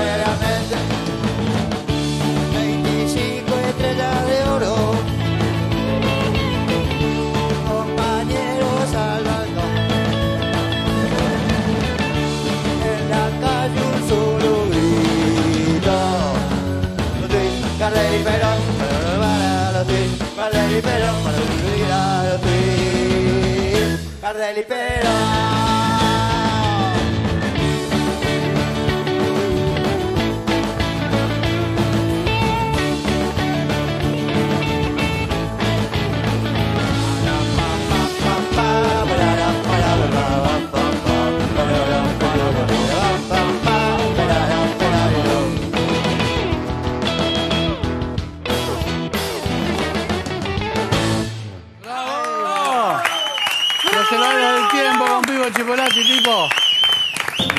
Muchas gracias, de verdad. Por favor. Muchachos, gracias a todos. Nosotros estamos para seguir bailando hasta las 3 de la tarde de corrido, Pero ¿no? estamos felices. Para Agitados, también. pero contentos. Agitados pero contentos. Esto recién empieza. Muy bueno. Es, es difícil de anunciar, vamos a hacer de cuenta que. Bueno, ¿cómo lo que estás que no hay doble sentido. Que no hay doble sentido. Nosotros, dame dos mensajes Sí, claro. y enseguida cocinamos un dulce extraordinario para la segunda parte del show. Llega Vilma Palma. Buenísimo. Atención, eh. Vampiros. Dos mensajes. ¿Qué dice Hashtag sobre el Morphy? Telefe dice Maru, cómo me alegraron la mañana, volví a ser estudiante, de verdad. Ah. Gracias, Pipo, genio, chicos de Morphy. Vamos, uno más, por favor. Viviana Grande, Pipo, lo mejor el estudiante, yo lo canto y mi hijo se ríe. Soy feliz. Muy bien. Nosotros vamos a cocinar ahora unas pepas caseras. Qué rico. Ah, viva la pepa. Ya viva la pepa, entendemos que pepa es aquella galletita que tiene un membrillo en el medio. y por sí. eso vamos a hacer unas pepas caseras y seguimos con Vilma Palma. Hay que aprender porque son fáciles, son económicas, son ricas. Vas a gastar mucho menos que en paquete y te quedan espectaculares. ¿Cómo Muy bien. arranca la pepa casera? Arrancamos con la masa. Esta masa espectacular que tiene manteca que está pomada. Fíjate Sí. con el dedo que la toque, está bien, bien blandita. La saqué hace un rato de la heladera y la voy a empezar a batir junto con azúcar, pero no cualquier azúcar. ¿No? En este caso uso azúcar impalpable. Ah, muy bien. Que la tamizo previamente. ¿Por qué? Porque el azúcar impalpable tiene un poco de contenido de almidón. Ah. Entonces te las va a secar un poquito más en el horno y te van a quedar un poco más crocantes que si las haces con azúcar común. ¡Qué ricas son! Perfecto. Entonces, ahí vamos. Ah, Sí, yo te tengo, yo te ah, bueno, bueno, ahí vamos. Entonces, vamos batiendo ahí Sí. la manteca con el azúcar impalpable hasta que se forma lo que se llama un cremado. ¿Sí? Apenas unís manteca y azúcar y en este momento le vamos a incorporar un solo huevo. Ahí. Qué lindo esto de cocinar. No, es medio difícil. Nunca había pasado, Santi. Sí.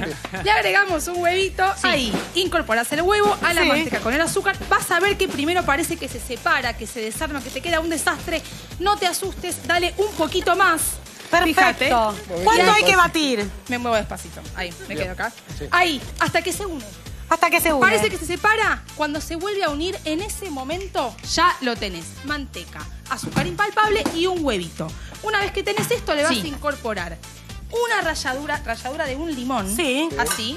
Solamente la parte amarilla, como te digo siempre. Muy Y bien. después empezamos a incorporar. Es la una harina. conferencia de prensa sobre Claro, la en vivo y en pepa. directo. ¿Cómo le va? La canciller Bien. está haciendo una pepa de membrillo. Sí, Sí, estoy dígame. acá. bueno, estas declaraciones que voy a hacer, prestame atención porque esto es primicia total, exclusiva para Morphy Café. Te estoy contando la masa de las pepas, una masa Morphy Café arranca a las 14 horas, Por ¿eh? eso no se lo pierdan. por ¿Qué eso mismo. ¿Pero por qué? ¿Eh?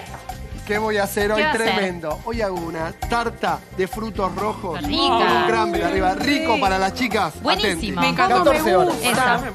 Bueno, prestame atención. Atención, atención. ¿Cómo se hace? Vamos. Entonces, manteca, azúcar, un huevo, le incorporo harina y la trabajo, Sí. pero sin amasar, simplemente es unir. Fíjate cómo te queda la masa acá. ¿Qué haces con esta masa ahora? Importante, hay mucha cantidad de manteca que estaba pomada. Sí. La llevamos al frío. Sí. ¿Hasta qué? Hasta que solidifica la manteca. Esta manteca va a solidificar y la masa ya está lista para hacer las formitas. Entonces, tenés el choricito de masa, vas a cortar pequeños bollitos como tengo acá. Sí. Te vas a mojar el dedo en un poquito de harina. Haces el huequito en el centro. Claro. Y de esta manera te quedan las pepas listas lindas. para rellenar. Muy ¿Cómo bien, termina Chantal, esto? vamos. Con un poco de membrillo que lo pones a calentar al microondas. Me dijeron que ya anda. Sí. Pones a calentar membrillo al microondas con un poquito de agua, lo pisas bien, lo pones en una manga, rellenas estas pepas Sí. Y antes de ir al horno vas a pasar un rato por la heladera. La tenés en la heladera más o menos unos 12 o 15 minutos, las tenés bien duritas, un poquito de azúcar por arriba Mm. antes de ir al horno para que haga el craquelado. Ah, muy bien. Las horneas más o menos por 12 minutos y cuando las sacas, las tenemos ahí atrás, Rodri, las cocidas, las dejas enfriar en la misma placa Sí. para que no se te quiebre la masa y una Oh, vez que las tenés qué rico, bien eh. frías, listas. Horneamos rubia 12 minutos más o menos. ¿Dijiste el, Sí. el horno a qué temperatura? Un horno medio, 180 grados, como siempre que hacemos masa quebrada. Importante dejarlas enfriar antes de desmontarlas. De Perfecto. acá a un frasquito tenés pepa para toda la semana. Muy bueno. ¡Qué rico! Encantó. son buenísimas. Señores, y sí. Rinden muchísimo más. Ya cocinamos el lomo, ya cocinamos el Si dulce. queremos seguir bailando. En una cocina metemos dos shows. Qué lindo. Está buenísimo. Bravo. No sé qué te habrá tocado en la secundaria, me gustaría que lo cuentes. Hashtag Morphy Telefe. ¿Cuándo te tocó cantar la de Pipo Chipolati? ¿Cuándo te tocó cantar la Vilma, Palma de Vampiros? Contanos en el hashtag Morphy Telefe porque la fiesta recién empieza. Y ahora sí, yo he contado un millón de veces que... ¿Qué cosa? Si tenías la suerte en Rosario, Sí. él por ahí ni me registraba a mí, yo era como el más chiquitito de una banda que caminaba. Ajá. Si tenías la suerte en Rosario de llegar a Space, por ejemplo, un boliche de tres pisos, ¿Space? Space, Sí. Pa- el pájaro delante, Sí. los Vilma después, y vos en tercer lugar atrás, con el rebote de lo que se le acercaba al pájaro, con el rebote lo que se le acercaba al pájaro era Pancho Dotto en Punta del Este 95. Pancho Dotto 95 Punta del Este. Con el rebote comías una... Era la felicidad más grande del mundo. Imponente, el pájaro hacía Sigue siendo, Sí. sigue siendo, pero imagínate. Entraba el pájaro y venían los amigos y los amigos de los amigos y ahí la pasábamos bien todos. Qué lindo. La verdad, Haber de- estado en Rosario en esa época. Te juro que sí. Eh, Punto G, una banda rock divina. La Mirá verdad que estaba buenísimo. Y ellos que salieron para conquistar. Punto G de una banda. Qué bueno. Sí. ¿No, la cono- ¿No la conocía? Sí, eh, bueno, hoy es el cantante de Coquien de Killer Burritos. Punto G. ¿No lo conoces? No. No, no lo conocés? conocía. ¿Pero lo No, no, conociste no. alguna ¿La vez? banda? ¿No te suena? La banda, la banda no, no, no la conozco. Ah, muy bien, muy bien. Sí, sí, sí. Bueno, Hay de otro- Rosario, los primeros que salieron como banda, más Sí. allá de la Trova Rosarina, Fito, Valieto, como banda, los primeros que salieron desde Rosario y conquistaron el continente y conquistaron América Latina, La rompieron. son los que vamos a presentar ahora, Qué lujo. que siguen rompiéndola en un montón de países y tenemos la suerte de engancharlos justo en Buenos Aires. Qué por bueno. eso somos felices por recibir hoy en Morphy ¿ah? Vilma Palma de Vampiro, Bravo. bienvenido. Bienvenidos a Morphy. ¡Vamos!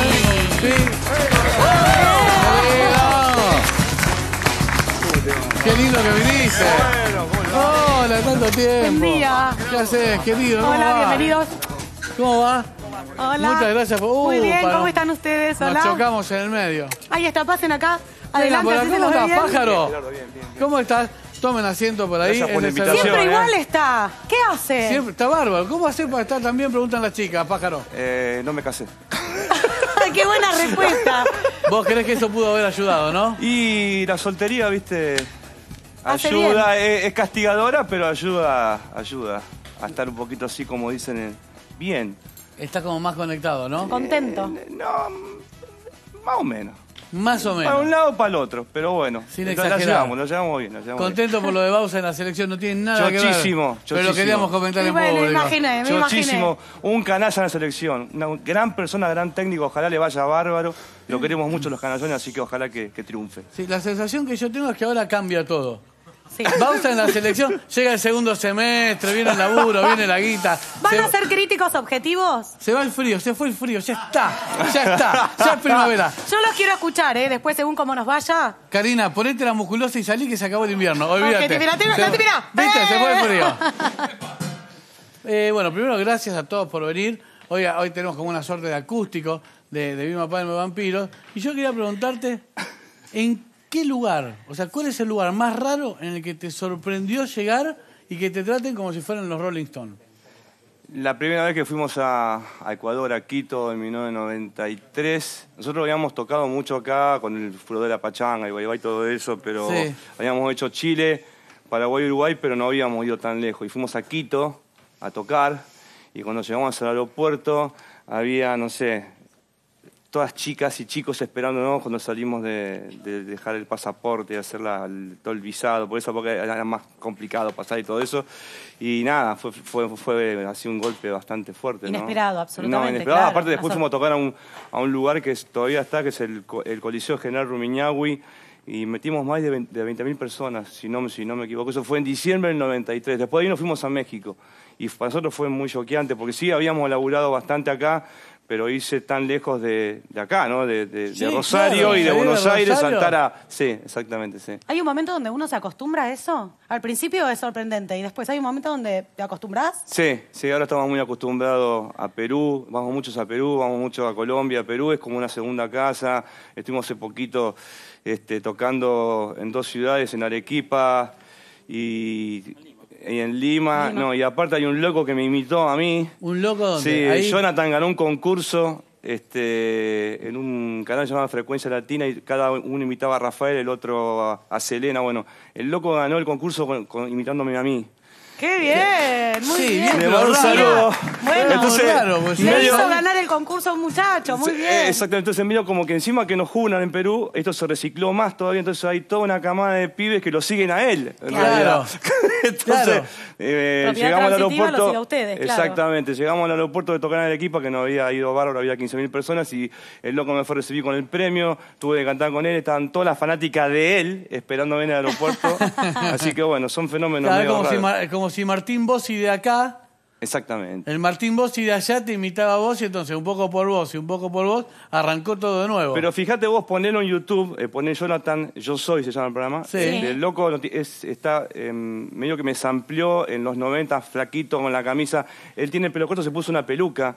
Y te digo que lo hace bastante, bastante bien. eh. Te digo, o sea, le pegan el palo, Le y, pegan el palo. y le- y lo ganó bien al concurso. Bueno, así que Igual- en Perú la ligamos de rebote más de lo que estamos. Ahora más todavía con este muchacho que nos, nos salió a invitar. ¿no? Ahora, pájaro, te veo mucho más flaco que cuando te entrevisté en Pop hace unos años. No sé si es para parecerte a tu imitador o te pusiste en línea. ¿En qué andás? Porque No, se te ve no, el, el el galán, señor, ¿eh? el señor Faría, el que está por ahí escondido, me mandó a hacer un régimen. No, le aflojé un poco al pan y esas cosas, porque, viste, hay que cuidarse un poquito. Un poquito, ¿no? Un, Un poquito. O sea, igual comer y tomar unos chupas y todas esas cosas, pero aflojé un poco a las harinas y todo eso.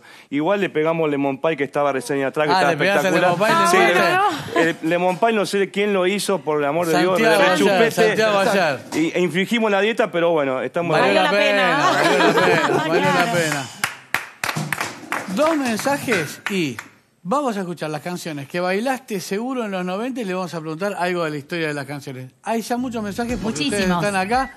Hashtag Morphy Telefe.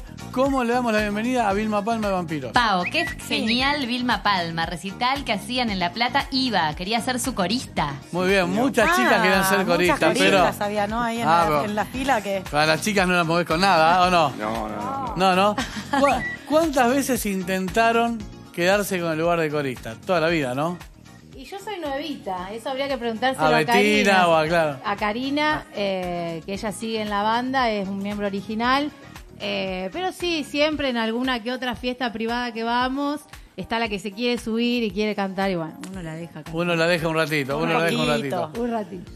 Una de las canciones una de las canciones Sí. que más escuchamos y que más bailamos Vilma Palma es Bye Bye. ¿Tiene historia la canción? ¿Cómo sale esa canción? Sí, Bye Bye es este, una canción que la hicimos con Jorge y yo le hinchaba mucho los cocos con Déjame, déjame, que te toque la piel, porque yo había tenido una noviecita en esa época en Rosario, cuando era más ju- juventud divina, este, que la quería mucho, me enamoré fuertemente de ella. Mirá, se entera todo el país de esto y el mundo. Y bueno, no fue ese amor, entonces esa canción fue dedicada para, e- para ella, yo le llevé la melodía y le dije, mira Jorge, me parece que va, déjame, déjame que te toque la piel, me parecía cantar eso y después hizo él la letra y bueno. Hizo la letra completa. Y salió así. Era una chica que claramente no te dejaba, no te dejaba que te toques la piel, que te toques la piel, como dice la Era, como media- dicen. era difícil la chica, era, era, era muy arisca y me hizo sufrir como todos sufrimos por amor, pero bueno, ah, cosa de chico, de joven.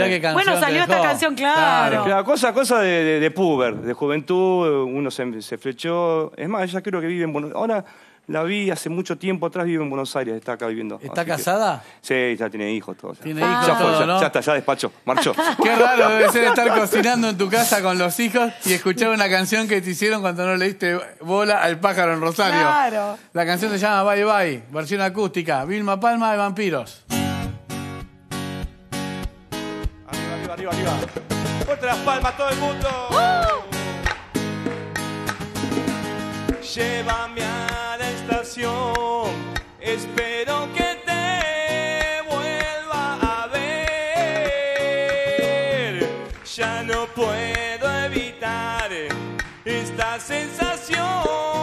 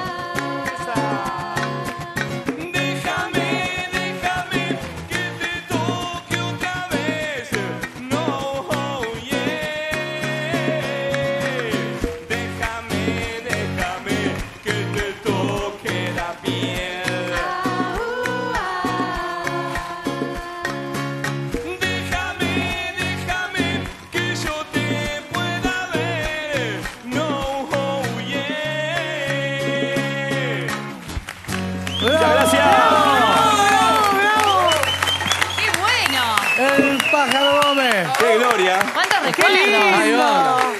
Pablo Cejas en guitarra, Farina Díaz en coros, Luciano Cristini en percusión. Qué lindo. Linda versión acústica, me gusta. ¿Estás contento? ¿Cómo, cómo te va la vida? ¿Cómo anda, che? La bien, vida. bien. felices. Andan bien, ¿no? Sí, laburando mucho trabajo. Somos Labu- una banda laburadora, una banda que está al alcance de la gente. Obviamente hay que pagar. Claro. Pero lo que digo es que no, nos llaman de todos lados, eh, fuera de joda. Nos llaman todo No, el mundo yo para sé. tocar. La Bizarren, que esto, que Entre Ríos, que Córdoba. Picamos a Perú, Colombia. Estuvimos en Estados Unidos en abril. Hicimos este. ¿Cuántos shows? 13 shows en tres semanas. En Las Vegas, en New York, en Sacramento, en Tampa, en Miami. No, una cosa de locos. La verdad que no podemos creer que después de casi.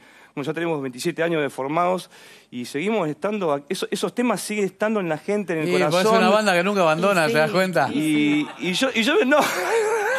Muy bien, no, toquemos una- tema. No, pero Esto es se ve en banda que- Rosario, amigo, mirá que yo vivo allá, ¿eh? Sí, yo sé, no. sí, Pero, sí. digo, Es una banda que nunca abandona, 27 Gerardo, porque años hace después. mucho que no va. No, yo voy seguido y pienso, no, no tengo problema. No nos abandonamos en ningún caso. Pero bueno, no, de verdad es una maravilla. Quiero saber dos mensajes Sí. de la gente y que cada uno me cuente si, lo- si la canción lo llevó a algún lugar. Dos mensajes, hashtag Morphy y Telefe, disfrutando. Versión acústica, Vilma Palma de Vampiros. Mirá qué bueno Retro, este. por ejemplo. Marice, gracias a mi papá los conocí desde La Panza. Tengo 19 y no paro de escucharlos. Grande Vilma Palma, saludos desde Perú, ¡Eh, vuelva. de Perú! ¡Me encanta! ¡Aguante Perú! Morphy Telefe. Uno más, por favor. Dice Elizabeth, genios Vilma Palma, los veo cada vez que vienen a Comodoro Rivadavia, son lo más, los amo. Vamos todavía, uno más, por favor. Hashtag Morfitelefe.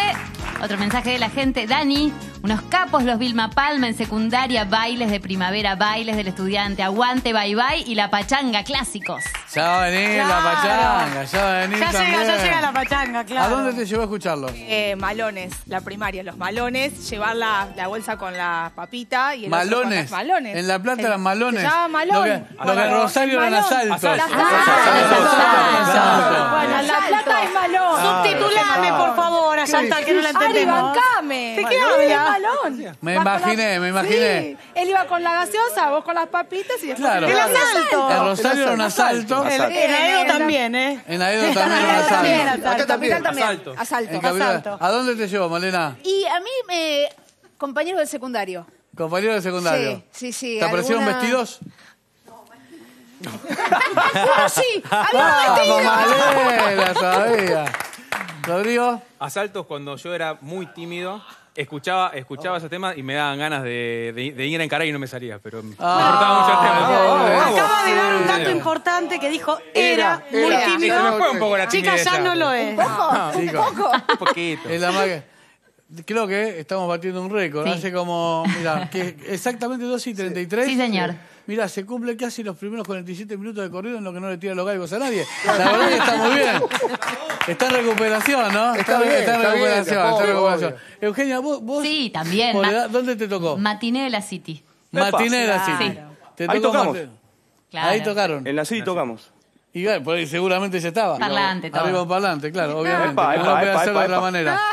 Hay, después me tenés que contar, porque todos los artistas me cuentan, la peor función de sus vidas. Pero antes, ¿hay lugares donde el auto rojo es más fuerte que la pachanga? Sí. ¿Dónde? Y te diría que en, no sé si en Colombia y en Perú le pegan el palo. No sé, no sé, ustedes qué piensan, pero está ahí palo a palo. Palo a palo. Y también hay otras que también piden mucho que fondo profundo. Hay varias que piden, pero esas tres son bastante. Buenísima esa. Claro. Sí, sí, Ahora son- te voy a pedir también, pero escúchame. El auto rojo. ¿Auto rojo tiene historia? Eh, no, no, no, no. Auto Rojo es, es una invención de Jorge que le mando un beso enorme. Contá quién es Jorge. Jorge Rizzo, fundador de Una Palma, que no está aquí ahora, pero bueno, es un amigo toda la vida. Y hizo las letras, yo música de letras. Rizzo, es- es conocido como Rizzo, un galán. el Don Rizzo, le mando un beso enorme. Y nada, se ocurrió esa historia.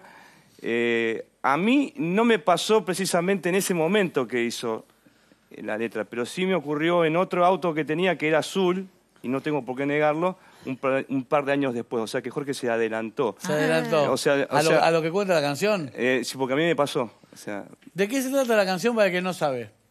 pero es muy fácil.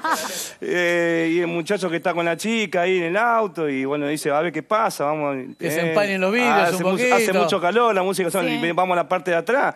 Es como que el flaco se la quiere tumbar, es así. Es así, es así, es así. Pasa por ahí, Y disculpame que vos está viviste Fabián esa acá, situación perdón. en un auto azul, dijiste. Yo tenía un auto, ¿sabés lo que le Bueno, callate, Sí. Mario, Era por un favor. auto cómodo, Era, era una un coupé Megane, la adoro, los recuerdos de ese auto. Este, Ay, y ya nos estamos enterando. Sí, es más, es más, te digo, y te, y te vas a poner más contento. Fue a dos cuadras de la cancha central. Vamos todavía. Una madrugada después de la... si- ¿Vos te acordás de la sirena? ¿Cómo no me voy a acordar? Bueno, después de la sirena. Lamento a la gente que me está ¿Qué sirena, chicos? viendo. eh, Explíquenos. un boliche, un boliche. un boliche, Ah. un boliche. Entonces, Sí. este, fue la el auto engañosa... era importante en ese momento. El auto era importante. Y el auto- Yo tenía el trueno naranja. Y 90 y Uh, 98, 99. Auto rojo del 93. Pasó, Del Me 93. pasó a mí después de 4 o 5 años de haber hecho la canción. ¿no? Un el, Opel. Mirá vos. El trueno naranja. Yo Caramba. tenía eh, tipo 90, Sí. 91 íbamos con gente que conoce, toda gente bien. Marianito Molinari, Uh, no con nombres, Coqui. acá No, amigo mío, bandera. Hermoso, hermoso. Íbamos de la cooperativa, que era un boliche. ¿Por, Sí, qué. ¿por, qué, no, ¿Por qué nombro los boliches? ¿Cuántos boliches en Rosario? Pero no, ¿sabes por qué? Porque los relatos, porque los relatos con nombre, Sí. Sí. aunque vos no conozcas el lugar, te lo hacen imaginar. Es, Es como cierto. la City Matinee, es como las canciones uruguayas dicen, ¿no lo vieron a Molina? Que no pisa más el mar, vos no lo conocés a Molina. Pero se nota que el tipo estuvo ahí, ¿viste? Nosotros agarramos, íbamos de la cooperativa Púrpura. San Luis y Moreno. San Luis, bueno, Donado a y Córdoba. En el trueno naranja. que era Muy un tuneado estaba. Opel K180, sí, porque Me, lo, me lo habían vendido usado. Rally. Rally. Ah, con la línea Las negra. rayas negras se movían Sí, así, claro. con los relojitos adelante. Sí. Y no andaba a la puerta y jugábamos a los Duques de Casa. Nos metíamos por la Ah. ventana. Mañana tenía Renault 18 blanco. Claro. Y, de- y después estaba el Totito que tenía un Opel también. Exactamente. La picada que hacía, no, el Hace- desastre. Hacíamos la co- Entrabas y salías por la ventanilla que era. Sí, escuchá, era muy flaco. Escuchá. Íbamos, cooperativa púrpura, púrpura cooperativa. Llegamos a, la, llegamos a púrpura, Sí. soy amigo de Sorsolo. Ah, ¿sos amigo de Sorsolo? Sí. Ah, te abrían la puerta ahí, Sorsolo de aquí, Sorsolo de allá. ¿Verdad o mentira? No, pero me está haciendo morir porque lo que contaba me pasó también a mí, así igual que vos. Así que no, no hay por qué negarlo. De esa época que todos vivieron en Rosario, en San Pedro, en Salta, en todos los lugares, nos subimos. Hubo alguien que se subió a un auto y fue de un boliche al otro con los amigos, y a eso nos hace acordar estas canciones que hoy, amablemente, Vilma Palma, E Vampiros tocan para nosotros en versión acústica. Por eso llegó el momento de. Auto rojo. ¡Bravo!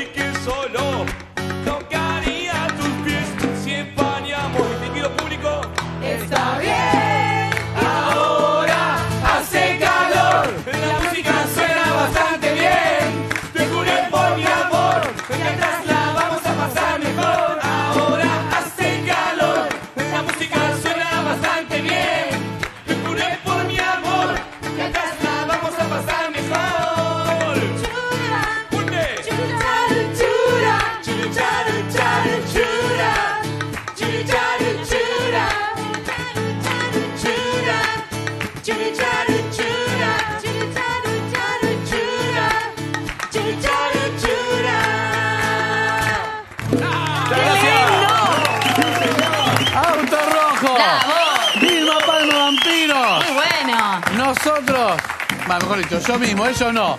Estamos más grandes, ellos están iguales, no se puede creer. Qué lindo, qué lindo suena acústico. Viste, suena, tiene otro touch, otra. Sí, y te puedo decir algo, que no, espero no te ofenda, pero lo digo de verdad. Qué bien estás cantando, pero no porque cantaras mal antes, sino porque mucha gente. No, pará, pará, lo digo de verdad. Mucha gente cuando te volvés a encontrar por ahí con una banda que no escuchás por, no sé, cinco años, pues ya la verdad que los escuché en pop, nada, te encontrás lo mismo en una versión que te recuerda a aquella. Y no es el caso, es decir, suena full, te estás cantando todo. Sí, gracias a Dios estamos ahí. Estamos, estamos, estamos, estamos filosos, estamos bien. Estamos bien, vamos, ¿no? Vamos a estudiar canto con Graciela Mosoni, que le mando un beso a mi profe allá en Rosario, una ídola. Claro. Y bueno, pasa que también es el laburo, ¿no? Porque estamos laburando. eh, Laburando to- Todos mucho. los años de laburo es como que la voz se va, creo que arruinu- arruinando o acentuando, una de dos. Pero bueno, Ah, pero yo también cantaba bien, Fabián. Muy bien, Fabiana, muy bien. Está bien, canta bien. Pasa algo con Vilma Palma, me di cuenta recién, no lo había pensado antes, que así como hay bandas que tienen algunos riffs que hacen dos, dos pavadas en la guitarra y vos ya sabés qué banda es y vos ya sabés qué canción viene, con los coros de Vilma Palma pasa eso. Todos nos sabemos, todos nos... Está bien, ¿viste? Todos sabemos los coros, ¿o no? Sí, sí, claro. son, muy emblemáticos. En realidad, vos sabés que la historia, siempre la cuento, cuando armamos la banda, yo no quería saber nada, porque eso, eso fue eh, a la vuelta de casa en Dixie, ahí se armó el, el grupo, estábamos tomando unos tragos y Jorge, No. sí, para variar, este, y Jorge y Largo estaban con, estaban Nati y Karina revoloteando, y dice, vamos a una banda, veníamos de Identikit y empezamos a ensayar. Yo no quería saber nada con las Identikit chicas. había sido una banda No muy que- querías chicas en no, la banda. no, re machista. Yo quería una banda, viste, de pop, viste, con el cantante típico, viste, qué sé yo, Sí. la banda, viste, bajo, guitarra. Un galán, pará, pará, estamos a Identikit, banda exitosa de verdad. Y el Rosario, el más galán de todos los galanes, sigue siendo uno, pero el más galán de todos los galanes, era el señor. Era Él- baterista, ojo. Sí, sí, sí, sí, no yo no sé, yo cantaba, sé, yo después me me puse acuerdo. cara dura y me puse a cantar. Claro, fuera, yo lo digo en joda, pero es verdad. Vos entrabas, tercera línea de amigos, en Space, con el pájaro y del rebote, el rebote, el rebote y las Pancho Dotto en Este. O sea, de verdad. Pero de verdad, de verdad. Mirá vos. Me quedé pensando. Y bueno, y después de, de eso, obviamente, terminando de contar la anécdota, este, quedaron las chicas y bueno, fueron emblemáticos porque empezamos a trabajar los coros, empezamos a laburar grupalmente con ellas para que los coros sean parte de... Y hoy en día, si no hay coro, no hay Vilma Palma. Si no hay- Bueno, tienen un protagonismo. No, obvio, sí. Las voces del coro que, Sí. que Tengo una idea. define mucho al grupo, sí. ¿Qué idea Si tenés? se enoja total después. No yo- se va a enojar. Yo no me lo cruzo ¿Vos ves que se pueden enojar? Ninguno Sí, de los cuatro. Yo no conozco de los- Sí, se puede enojar, pero no va a pasar. Antes, de la pachanga, ¿quiénes de los presentes quieren, quieren jugar a corista de Irma Palma? Yo pediría. Yo, haría yo así. no les quiero arruinar nada. No, le arruinamos todo. No, es que le vamos amigos. a arruinar De- todo. de- no. Yo lo que digo es O esto. sea, Yo lo que quiero ¿no? hacer es esto. El que quiera. Si te ofende, bueno, bueno, te no pido me- pero por favor. La idea mía es la siguiente. Yo también quiero ser corista de Vilma Palma. Atrás de ella hacemos una fila. Sí. Vos a hacer el auto rojo. Sí. Y, va- y vamos pasando de a uno. Y el que quiere mete. Chuchura, chura. Hay quien toca. Va, un corito cada uno. ¿Puede ser? No hay ningún problema. ¿No te ofende? No, para ¿Quién quiere? ¿Karina querés? Todos queremos Eugenia coro. querés? ¿El Cocina. coro? Viene ¿Tiene el coro? Viene ¿Cómo Eugenia la querés? No, no, no. Quiero saber cómo la vamos. Metemos la ¿Qué frase y nos vamos. Cantamos todo en fila. A ver. A cada uno el coro que le toca. Producción también, ¿eh? Si quiere que viene Luli, vamos. Llevaba un fran muy nuevo que en verdad no me quedaba muy bien. Te llevé por la ruta que va al sur, nene no vas rápido. Dijiste mirándome extrañada. Bien.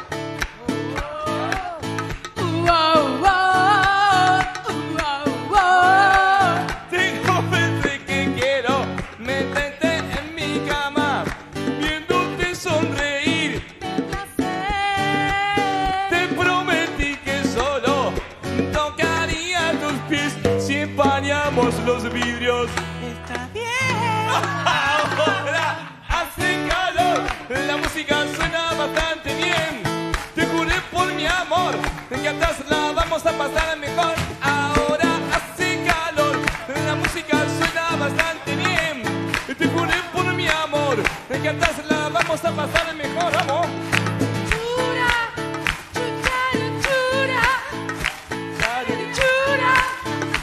Malena, aflojame, vamos.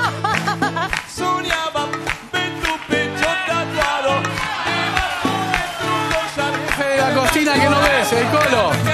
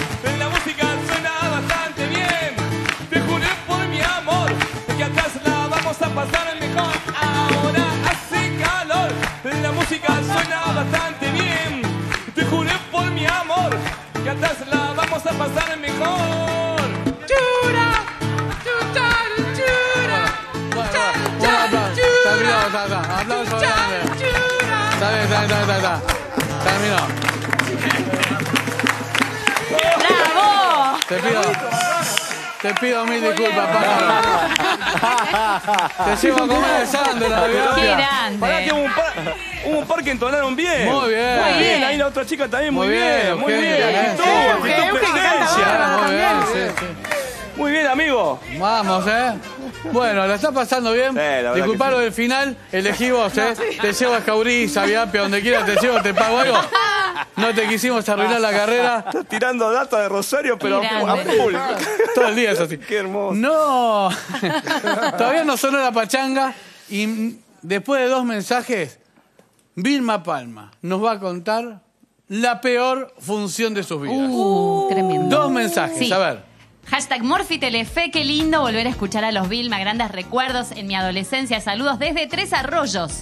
Hashtag Morphy Telefe, más mensajes de la gente. Georgina, dale, dale. Vilma Palma, es lo más. Quiero hacer una fiesta para que toquen saludos desde Rosario. Bueno, Claro, qué buena una vamos. fiesta con Vilma Palma. Sí. Victoria. A ver, tienen toda la onda del mundo, te hacen un guiño, pero si querés hacer una fiesta Claro. es como todo, ¿no?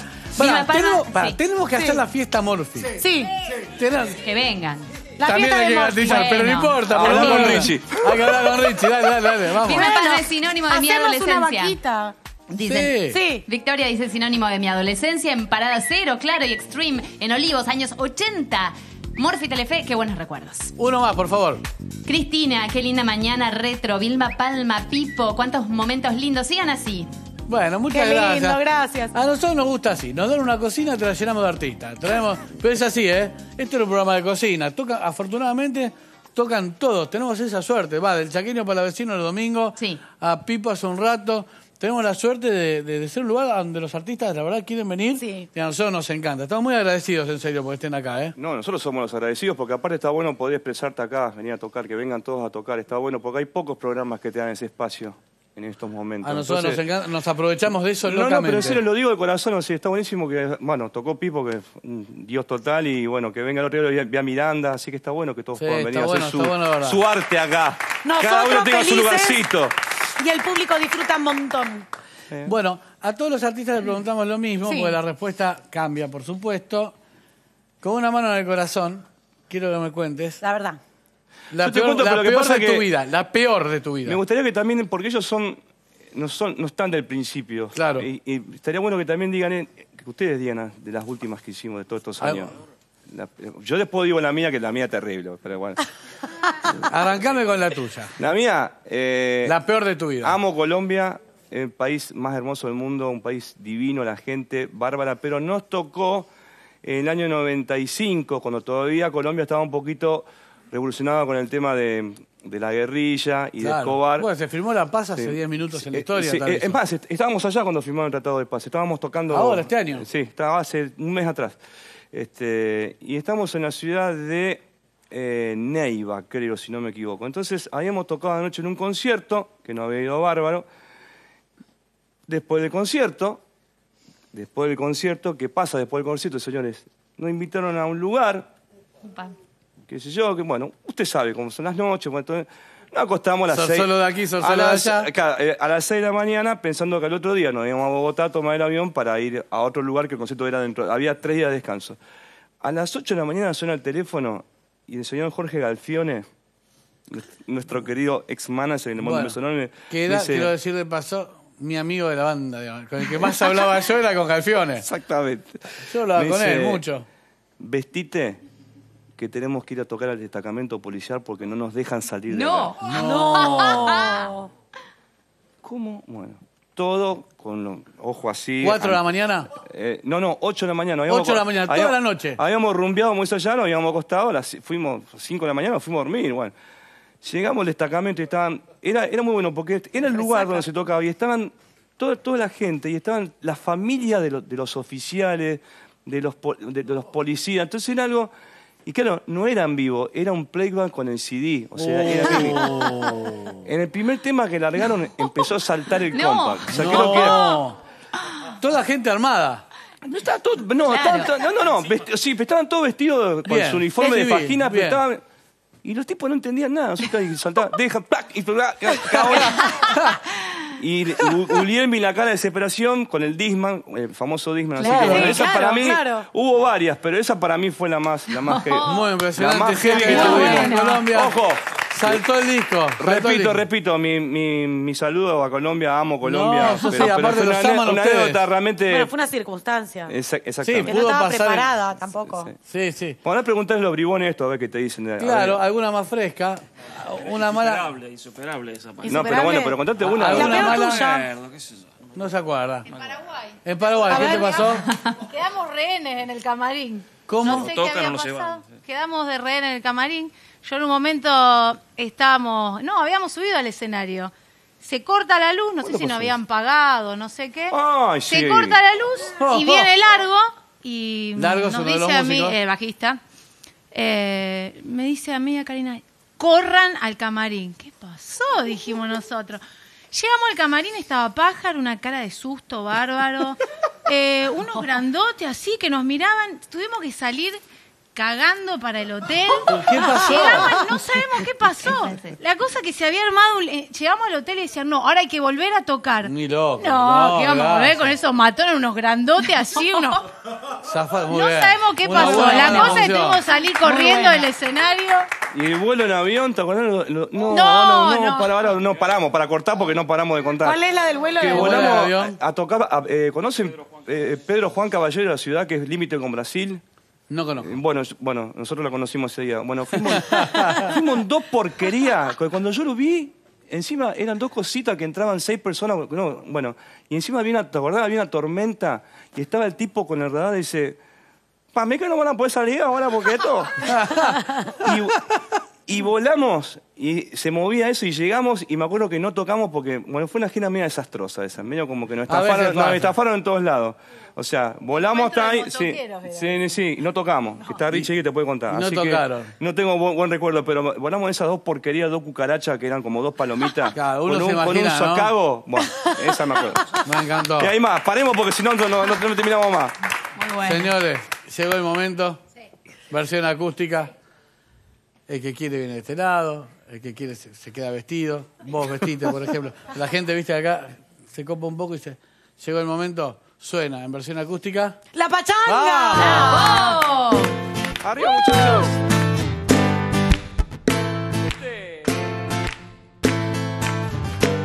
Está la luna asomándose, el cura habla por la TV. Me dijiste pásame a buscar y solo pienso en no verte más. Yo te pido por favor, No me busques eh, vos solo querés. reproches. Y te conté que para trasnochar me dijeron que no hay nada igual. Allí todo lo pone bien fuerte. Oh, oh, oh, oh. Pásame más tinto,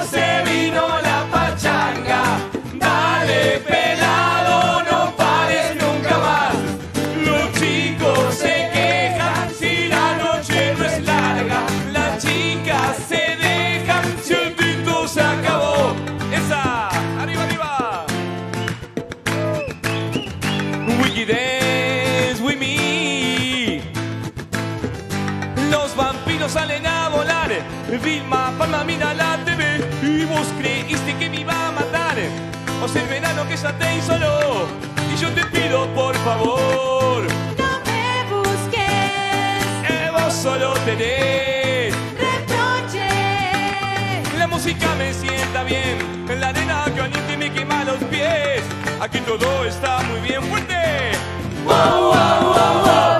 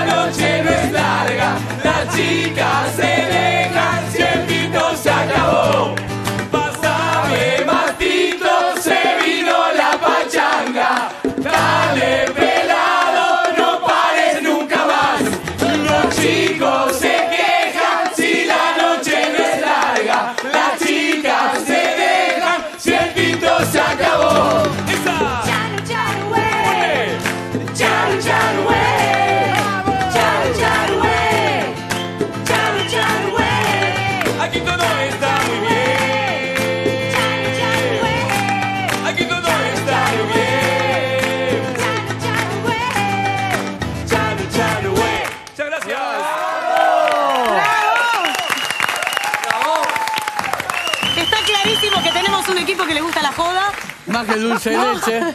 Sí. Bueno. Viste cómo se suban, vienen, aparecen, de pronto somos 30. Muy bueno. Sí, Muy va. bueno. Acá somos 30 y saber todo lo que somos en otros lugares, fíjate. Hashtag Morphy Telefe. Tres mensajes de, de personas que están pasando la bomba con nosotros este mediodía acá en Telefe. Vanina, qué buen programa Vilma Palma toda mi adolescencia. Vamos, todavía no Claro. más. Hashtag Morphy Telefe. Escribe Nati. Con mi amiga nos estamos mandando audios cantando la canción de Vilma Palma. Tenemos Muy 10 y bueno, 9. Muy bueno, me encantó. Uno más, por favor. Valentina, hermoso escuchar Vilma Palma, baila la pachanga en Keops, viaje de séptimo grado, qué lindo volver a los, a los 90. Tiró Keops. Claro, bárbaro, pensaba, ¿no? Claro. Nosotros tocábamos, tocamos una competencia, que no voy a decir el nombre, pero hemos tocado también mucho en Córdoba. Córdoba, gloriosa la provincia de Córdoba. bueno. Por Dios, saludo a todos los cordobeses. Sí, ¿no? Va bien, mucho, ¿no? mucho laburo, mucho laburo. Mucho laburo ahí, Y ¿eh? Siempre nos llaman. No, tuvimos una época de mucho laburo, por ahí baja, por ahí viene de vuelta, pero siempre cada dos o tres meses te llaman para tocar, siempre. Sí, Sí. Muy buena onda, porque Córdoba tiene su fenómeno del cuarteto, es, un- es una provincia aparte de las otras, ¿no? De- Sí, sí, musicalmente sí, musicalmente sí. Vilmapalma.com si querés tomar contacto con los muchachos, si querés escuchar algunos audios, la página tiene muy completa. Nos queda nada, un minuto nada más, por favor, un mensajito. A ver. Hashtag Morphy Telefe. Disfrutando la gente desde casa esta mañana, muchísimo, cantando y bailando. Hashtag Morphy Telefe a través de Twitter. Dice Paola, mortal este mediodía con Vilma Palma y vampiros, recuerdos de juventud. Por favor, gracias. A bailar se ha dicho. Muy bien. A bailar se ha dicho. ¿Cómo? Claro. Nosotros sabemos, pájaro, que es una falta de respeto hacia los músicos, hacerlos tocar y dejarlos tocando y que se acabe el programa. No hay nada peor para un músico que hacerlos tocar y el, el tema. y el programa se va. Sí, sí. Te quiero contar algo, es lo que te vamos a hacer ahora. No te ofendas. No te ofendas. alcanzó como un Seguimos Rodrigo en el bailando coro. No. Parece. Te cuento lo que pasa. Dentro de un minuto llegan las noticias en Telefe Noticias y todos queremos más. ¿Qué quiere decir? Que vos te vas a poner a cantar. Yo te agradezco ahora por haber venido. Y cuando estés cantando, cuando vienes en lo mejor, te fuiste del aire. Te va- Ok. Gracias, de verdad, por venir. ¿eh? Un aplauso. Quiero nos mucho, vamos con gracias, música, en serio. nos vamos con Gracias, chicos. Palma de vampiros. De esta manera, nosotros Ah, nos con lo encontramos que vos mañana quieras. a las 10 de la mañana, como todos los días. Quiero mandar un gran saludo a los chicos que no han venido. Gerardo, querido, Karina, Martín y el Oveja. Fuerte aplauso para ellos arriba profundo, profundo hasta que nos eche. Servio otra botella que me está quemando un fuego profundo que se consume. Lo que hemos vivido llenan hasta el borde. Brindo por tus ojos que se van yendo de mi mirada. Ya no veré nada. Es por la fuerza de mi amor que siento.